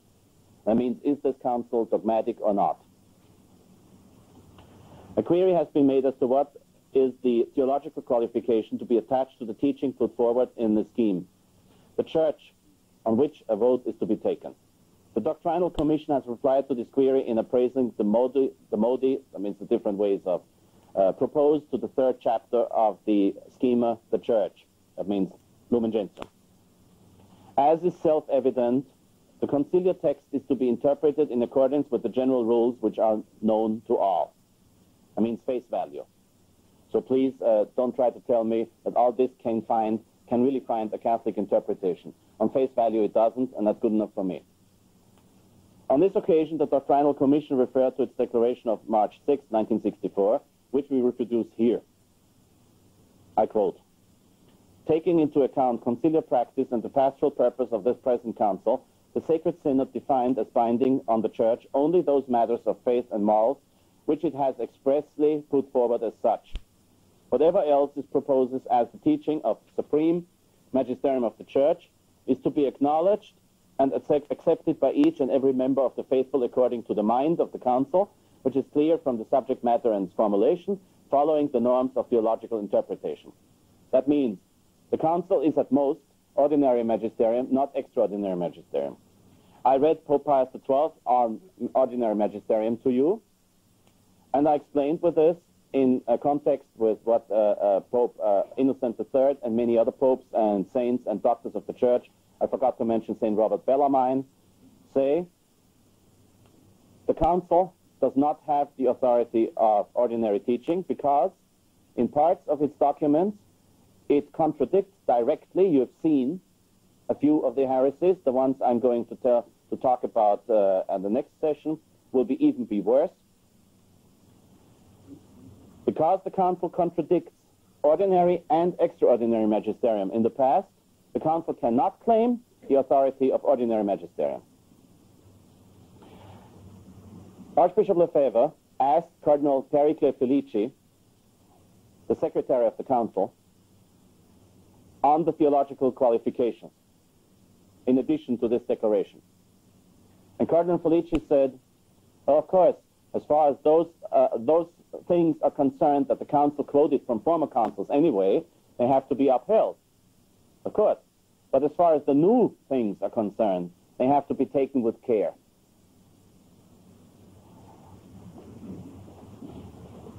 Now, taken with care means you look at how the church interpreted things in the past and how the church took position to documents in the past. At the, in the old days, there was an index, a list of forbidden books. There was a proper congregation in the Roman Curia, congregation of the index, just on that topic. Just uh, there were a few pious and learned priests who would read through endless boring and stupid books in order to find out if they're acceptable to a Catholic or not. Now, just to show you how the church thought about that once upon a time, the wonderful novel by Alexandre Dumas, The Three Musketeers, was put on the index because Alexandre Dumas made fun of a cardinal of the Holy Roman Church. Cardinal Armand Jean Richelieu, Armand Jean Duplessis de Richelieu, Cardinal and Archbishop of Paris, Grand Admiral of the King, Louis XIII, was a criminal. He signed a contract with the Turks against the Catholic Empire of Austria. He was a criminal. He bribed Protestant, uh, uh, he, he, bribed Catholic, uh, he, he bribed, excuse me, he bribed princes and counts in Germany in order to become Protestants, therefore binding their local territory to the Protestant religion, and therefore destroy the power of Austria against France. Cardinal Richelieu was a politician of the worst kind. He was the Clinton of his age. and yet, because he was a cardinal of the Holy Roman Church, the church did not approve of a lay author making fun of him in a book. If you say that's exaggerated, I agree. I've read The Three Musketeers four times over. and I read and I saw practically all the movies based on the book. And I love the book. And Cardinal Richelieu was a criminal. But anyway, the church found it scandalous just because they made fun of the cardinal, of a cardinal of the Holy Roman Church. Now you can imagine how the congregation of the Index treated a book that contained heresy. Back home, I have a very good translation of the Bible into German, written by uh, Van Ess, V-A-N-E-S-S. Van Ess. The Van Ess Bible is on the index because it contains a few minor errors. It's been put on the index, even though it's the Bible. It's been put on the index because of a few minor errors. Take an educated guess what the congregation of the index would have done with this book. and this is why, and be very careful about the distinction I'm about to make, this is why I reject Vatican II. Non in omnibus, sed in toto. Non in omnibus, sed in toto. I reject Vatican II as a whole, not in each line. That would be heretical because they occasionally Vatican II quotes the Council of Trent and Nicaea and whatever. I quote, uh, excuse me, they quote uh, old councils, and as far as they do that, they proclaim the doctrine of the church. But as far as the new things are concerned, as Cardinal Felici said, they have to be taken with care. Therefore, I solemnly reject this book. I reject Vatican II in its entirety, not in every single line. As such, I reject this book as because it contains heresy, not because everything in it is heresy. The, the, the translation of the Bible made by Martin Luther is not entirely wrong, but it has always been rejected by the church because of a few mistakes, deliberately or erroneously inserted. The church rejects a book the moment the church finds one single grave error in the book. If the church has always done that, then I have to do so. I've just shown you a few errors. Let's just call them errors. Some people get upset when I pronounce the judgment on what is heresy, what is not heresy. I couldn't care less what they say, but anyway, uh, at least some of the things in this council are erroneous. Therefore, I reject it. And you have to if you want to stay Catholics. Thank you.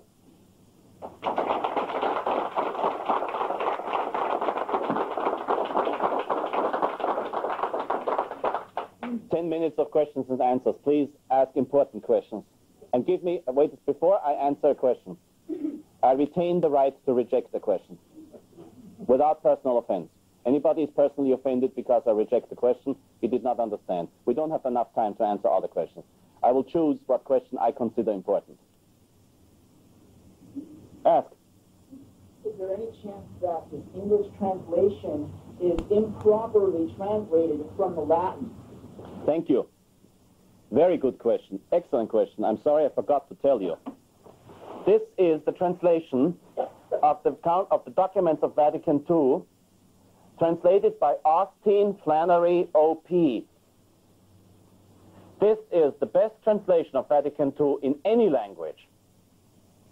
And to show you how devious some translators are, there is another translation. I forgot the author, There's, or the translator. There's another translation available in, in America. It's usually, I mean, in the old days, it had a red cover, not the blue. And they translated that uh, horrible heresy of Lumen Gentium 16, the Muslims together with us adore one God. In Latin, it is Musulmani, nobiscum adorant unum Deum. Nobiscum means together with us. The other guy translated it along with us.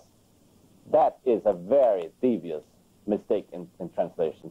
Because if you say the Muslims, along with us, pray to one merciful God, it's just about an acceptable statement, just about. It's close to error. But together with us is an expression that has to be rejected. The Latin original says nobiscum. Nobiscum, look it up in your Latin dictionaries. Nobiscum is not along with us, it's with us, together with us. Nobiscum. And uh, I have checked the most important statements in this book with the Latin original text, and I found this book to be an excellent translation. Next. Uh, one of the traditional priests is saying the Mass spoke on the 23rd. Do you know if there's any uh, violation there of quo primum? No. I will talk about this in New Orleans. Next question. Yeah, I'm a little confused in this because where it is, if the church is doing this, or the Vatican II is established, then where is, and you're, you're educated, that sounds like to me, where are they going to go? Where are the people who, who don't agree with this? Where, where, where's the outlet for them? How are they going to, who's going to establish something? I, uh, a future pope will have to. I wish I had the answer for this, but uh, What church are they going to go to then? I, I wish I had the answer. I, I wish I had the answer. We're in a state of, uh, you know, It's the greatest confusion in church history. There have been confusions like this before, like when when uh, when Pope Liberius uh, sided with the Arianist heresy, and the only one to reject him to, to reject his error was Saint Athanasius. You can imagine how confused the people were.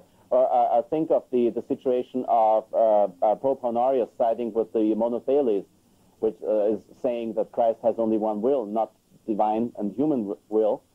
And remember the situation of John the 22nd, who said that the souls of the dead cannot face uh, the beatific vision or cannot go to hell before the last judgment, which is definite heresy against uh, uh, the Fourth Council of Constantinople and uh, the, the Fourth Lateran Council, I'm sorry. And the John the 22nd took it back only on his deathbed. And then there was a time, uh, remember, uh, the, the 14th century, the end of the 14th century, we had three popes. And people didn't know who was the pope.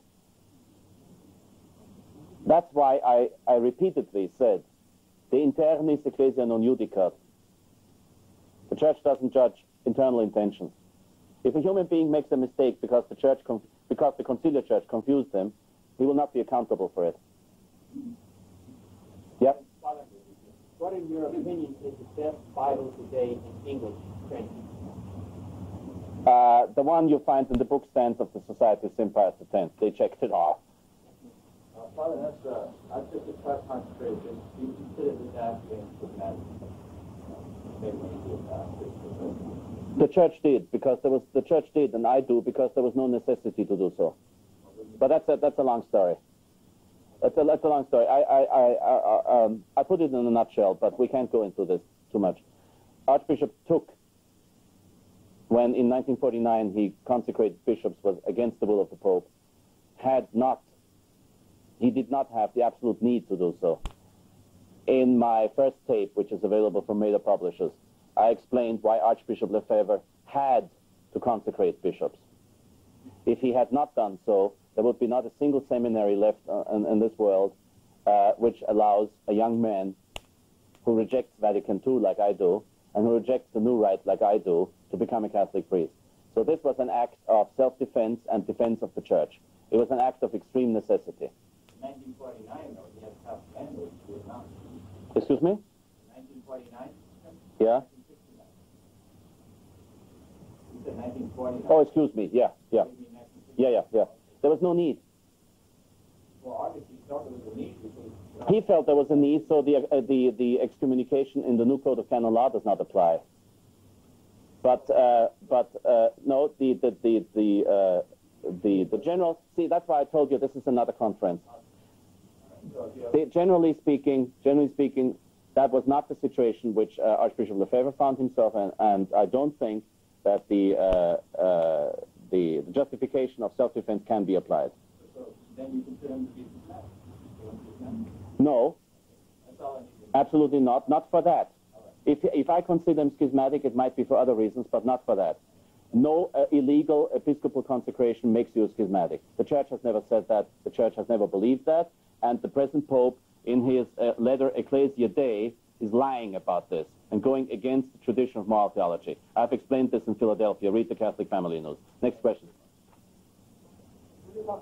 uh, Peter Society founded by the Holy Father, who now is 15 parishes throughout the United States. The St. Peter Society, uh, I again, I have to underline because uh, people have indeed walked out on me uh, uh, just because I said the St. Peter Society is wrong.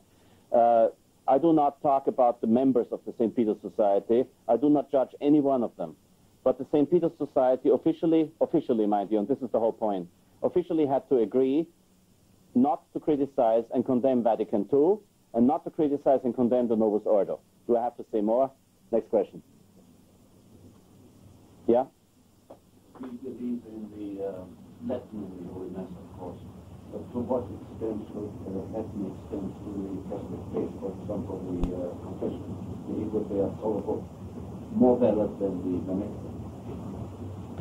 There's no such thing as more or less valid it's valid or not valid. That is the question. Uh, the Lat Latin has to be used as much as possible and sensible. Because Latin is a dead language, English is a decaying language. And uh, a, de a dead language does not change.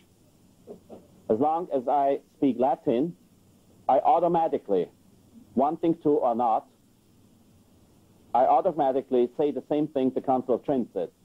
This is why you will find Latin quotations in my talks, because I want to enable those who do not uh, own the Denzinger Schönmetzer collection of papal pronouncements and conciliar pronouncements. I want them to be able in, uh, uh, to check the Latin and to check what the church really said. Because what the church says, look uh, uh, how language changed. Uh, we are in the 90s, aren't we? And they are gay 90s, believe me.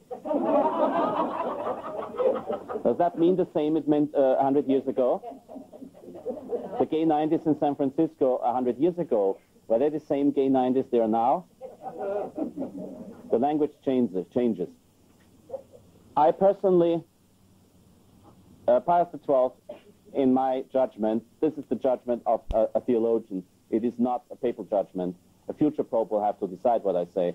Pius XII, as far as I'm concerned, gave uh, he gave in too much into the vernacular. Uh, I think that the, the vernacular, it's always dangerous. The vernacular is dangerous, first of all, as far as the content of theology is concerned. Second, as far as mistakes are concerned, you heard what I said about the papal mass in, in Vienna. Third, it confuses people. Least, it confuses people, uh, not least, first of all, it confuses people by making them believe now they understand everything. They do not. Less even once they get the idea that now they understand something. Uh, when uh, uh, I, I, I don't think that anybody should go to confession at all if he does not know what the priest means by his saying, uh, ego te absolvo peccatis tuis in nomine patris et filii spiritus sancti. I mean, he, he didn't have the proper catechesis then. A, a, child, I do not admit a child into confession that says, uh, I, I want you to say this in the vernacular because I don't understand what you say. I explain to the child what it means before I admit him to first, first uh, confession. I explained to him what the Latin uh, uh, means. I explained to him the significance of, of, of confession. The only exceptions are the matrimonial consent has to be in the vernacular. Because in Latin it is uh, vis, so-and-so, so-and-so, and then the answer is volo. I will. I want so. Do you want this here? Will. I want so. Do you want this here present so and so as your legitimate wife according to the right of the Holy Roman Church? And the answer is in English, yes. Nobody can say afterwards, I meant something else. If you use the Latin word volo, volo does not only mean I want, I will, it also means I fly.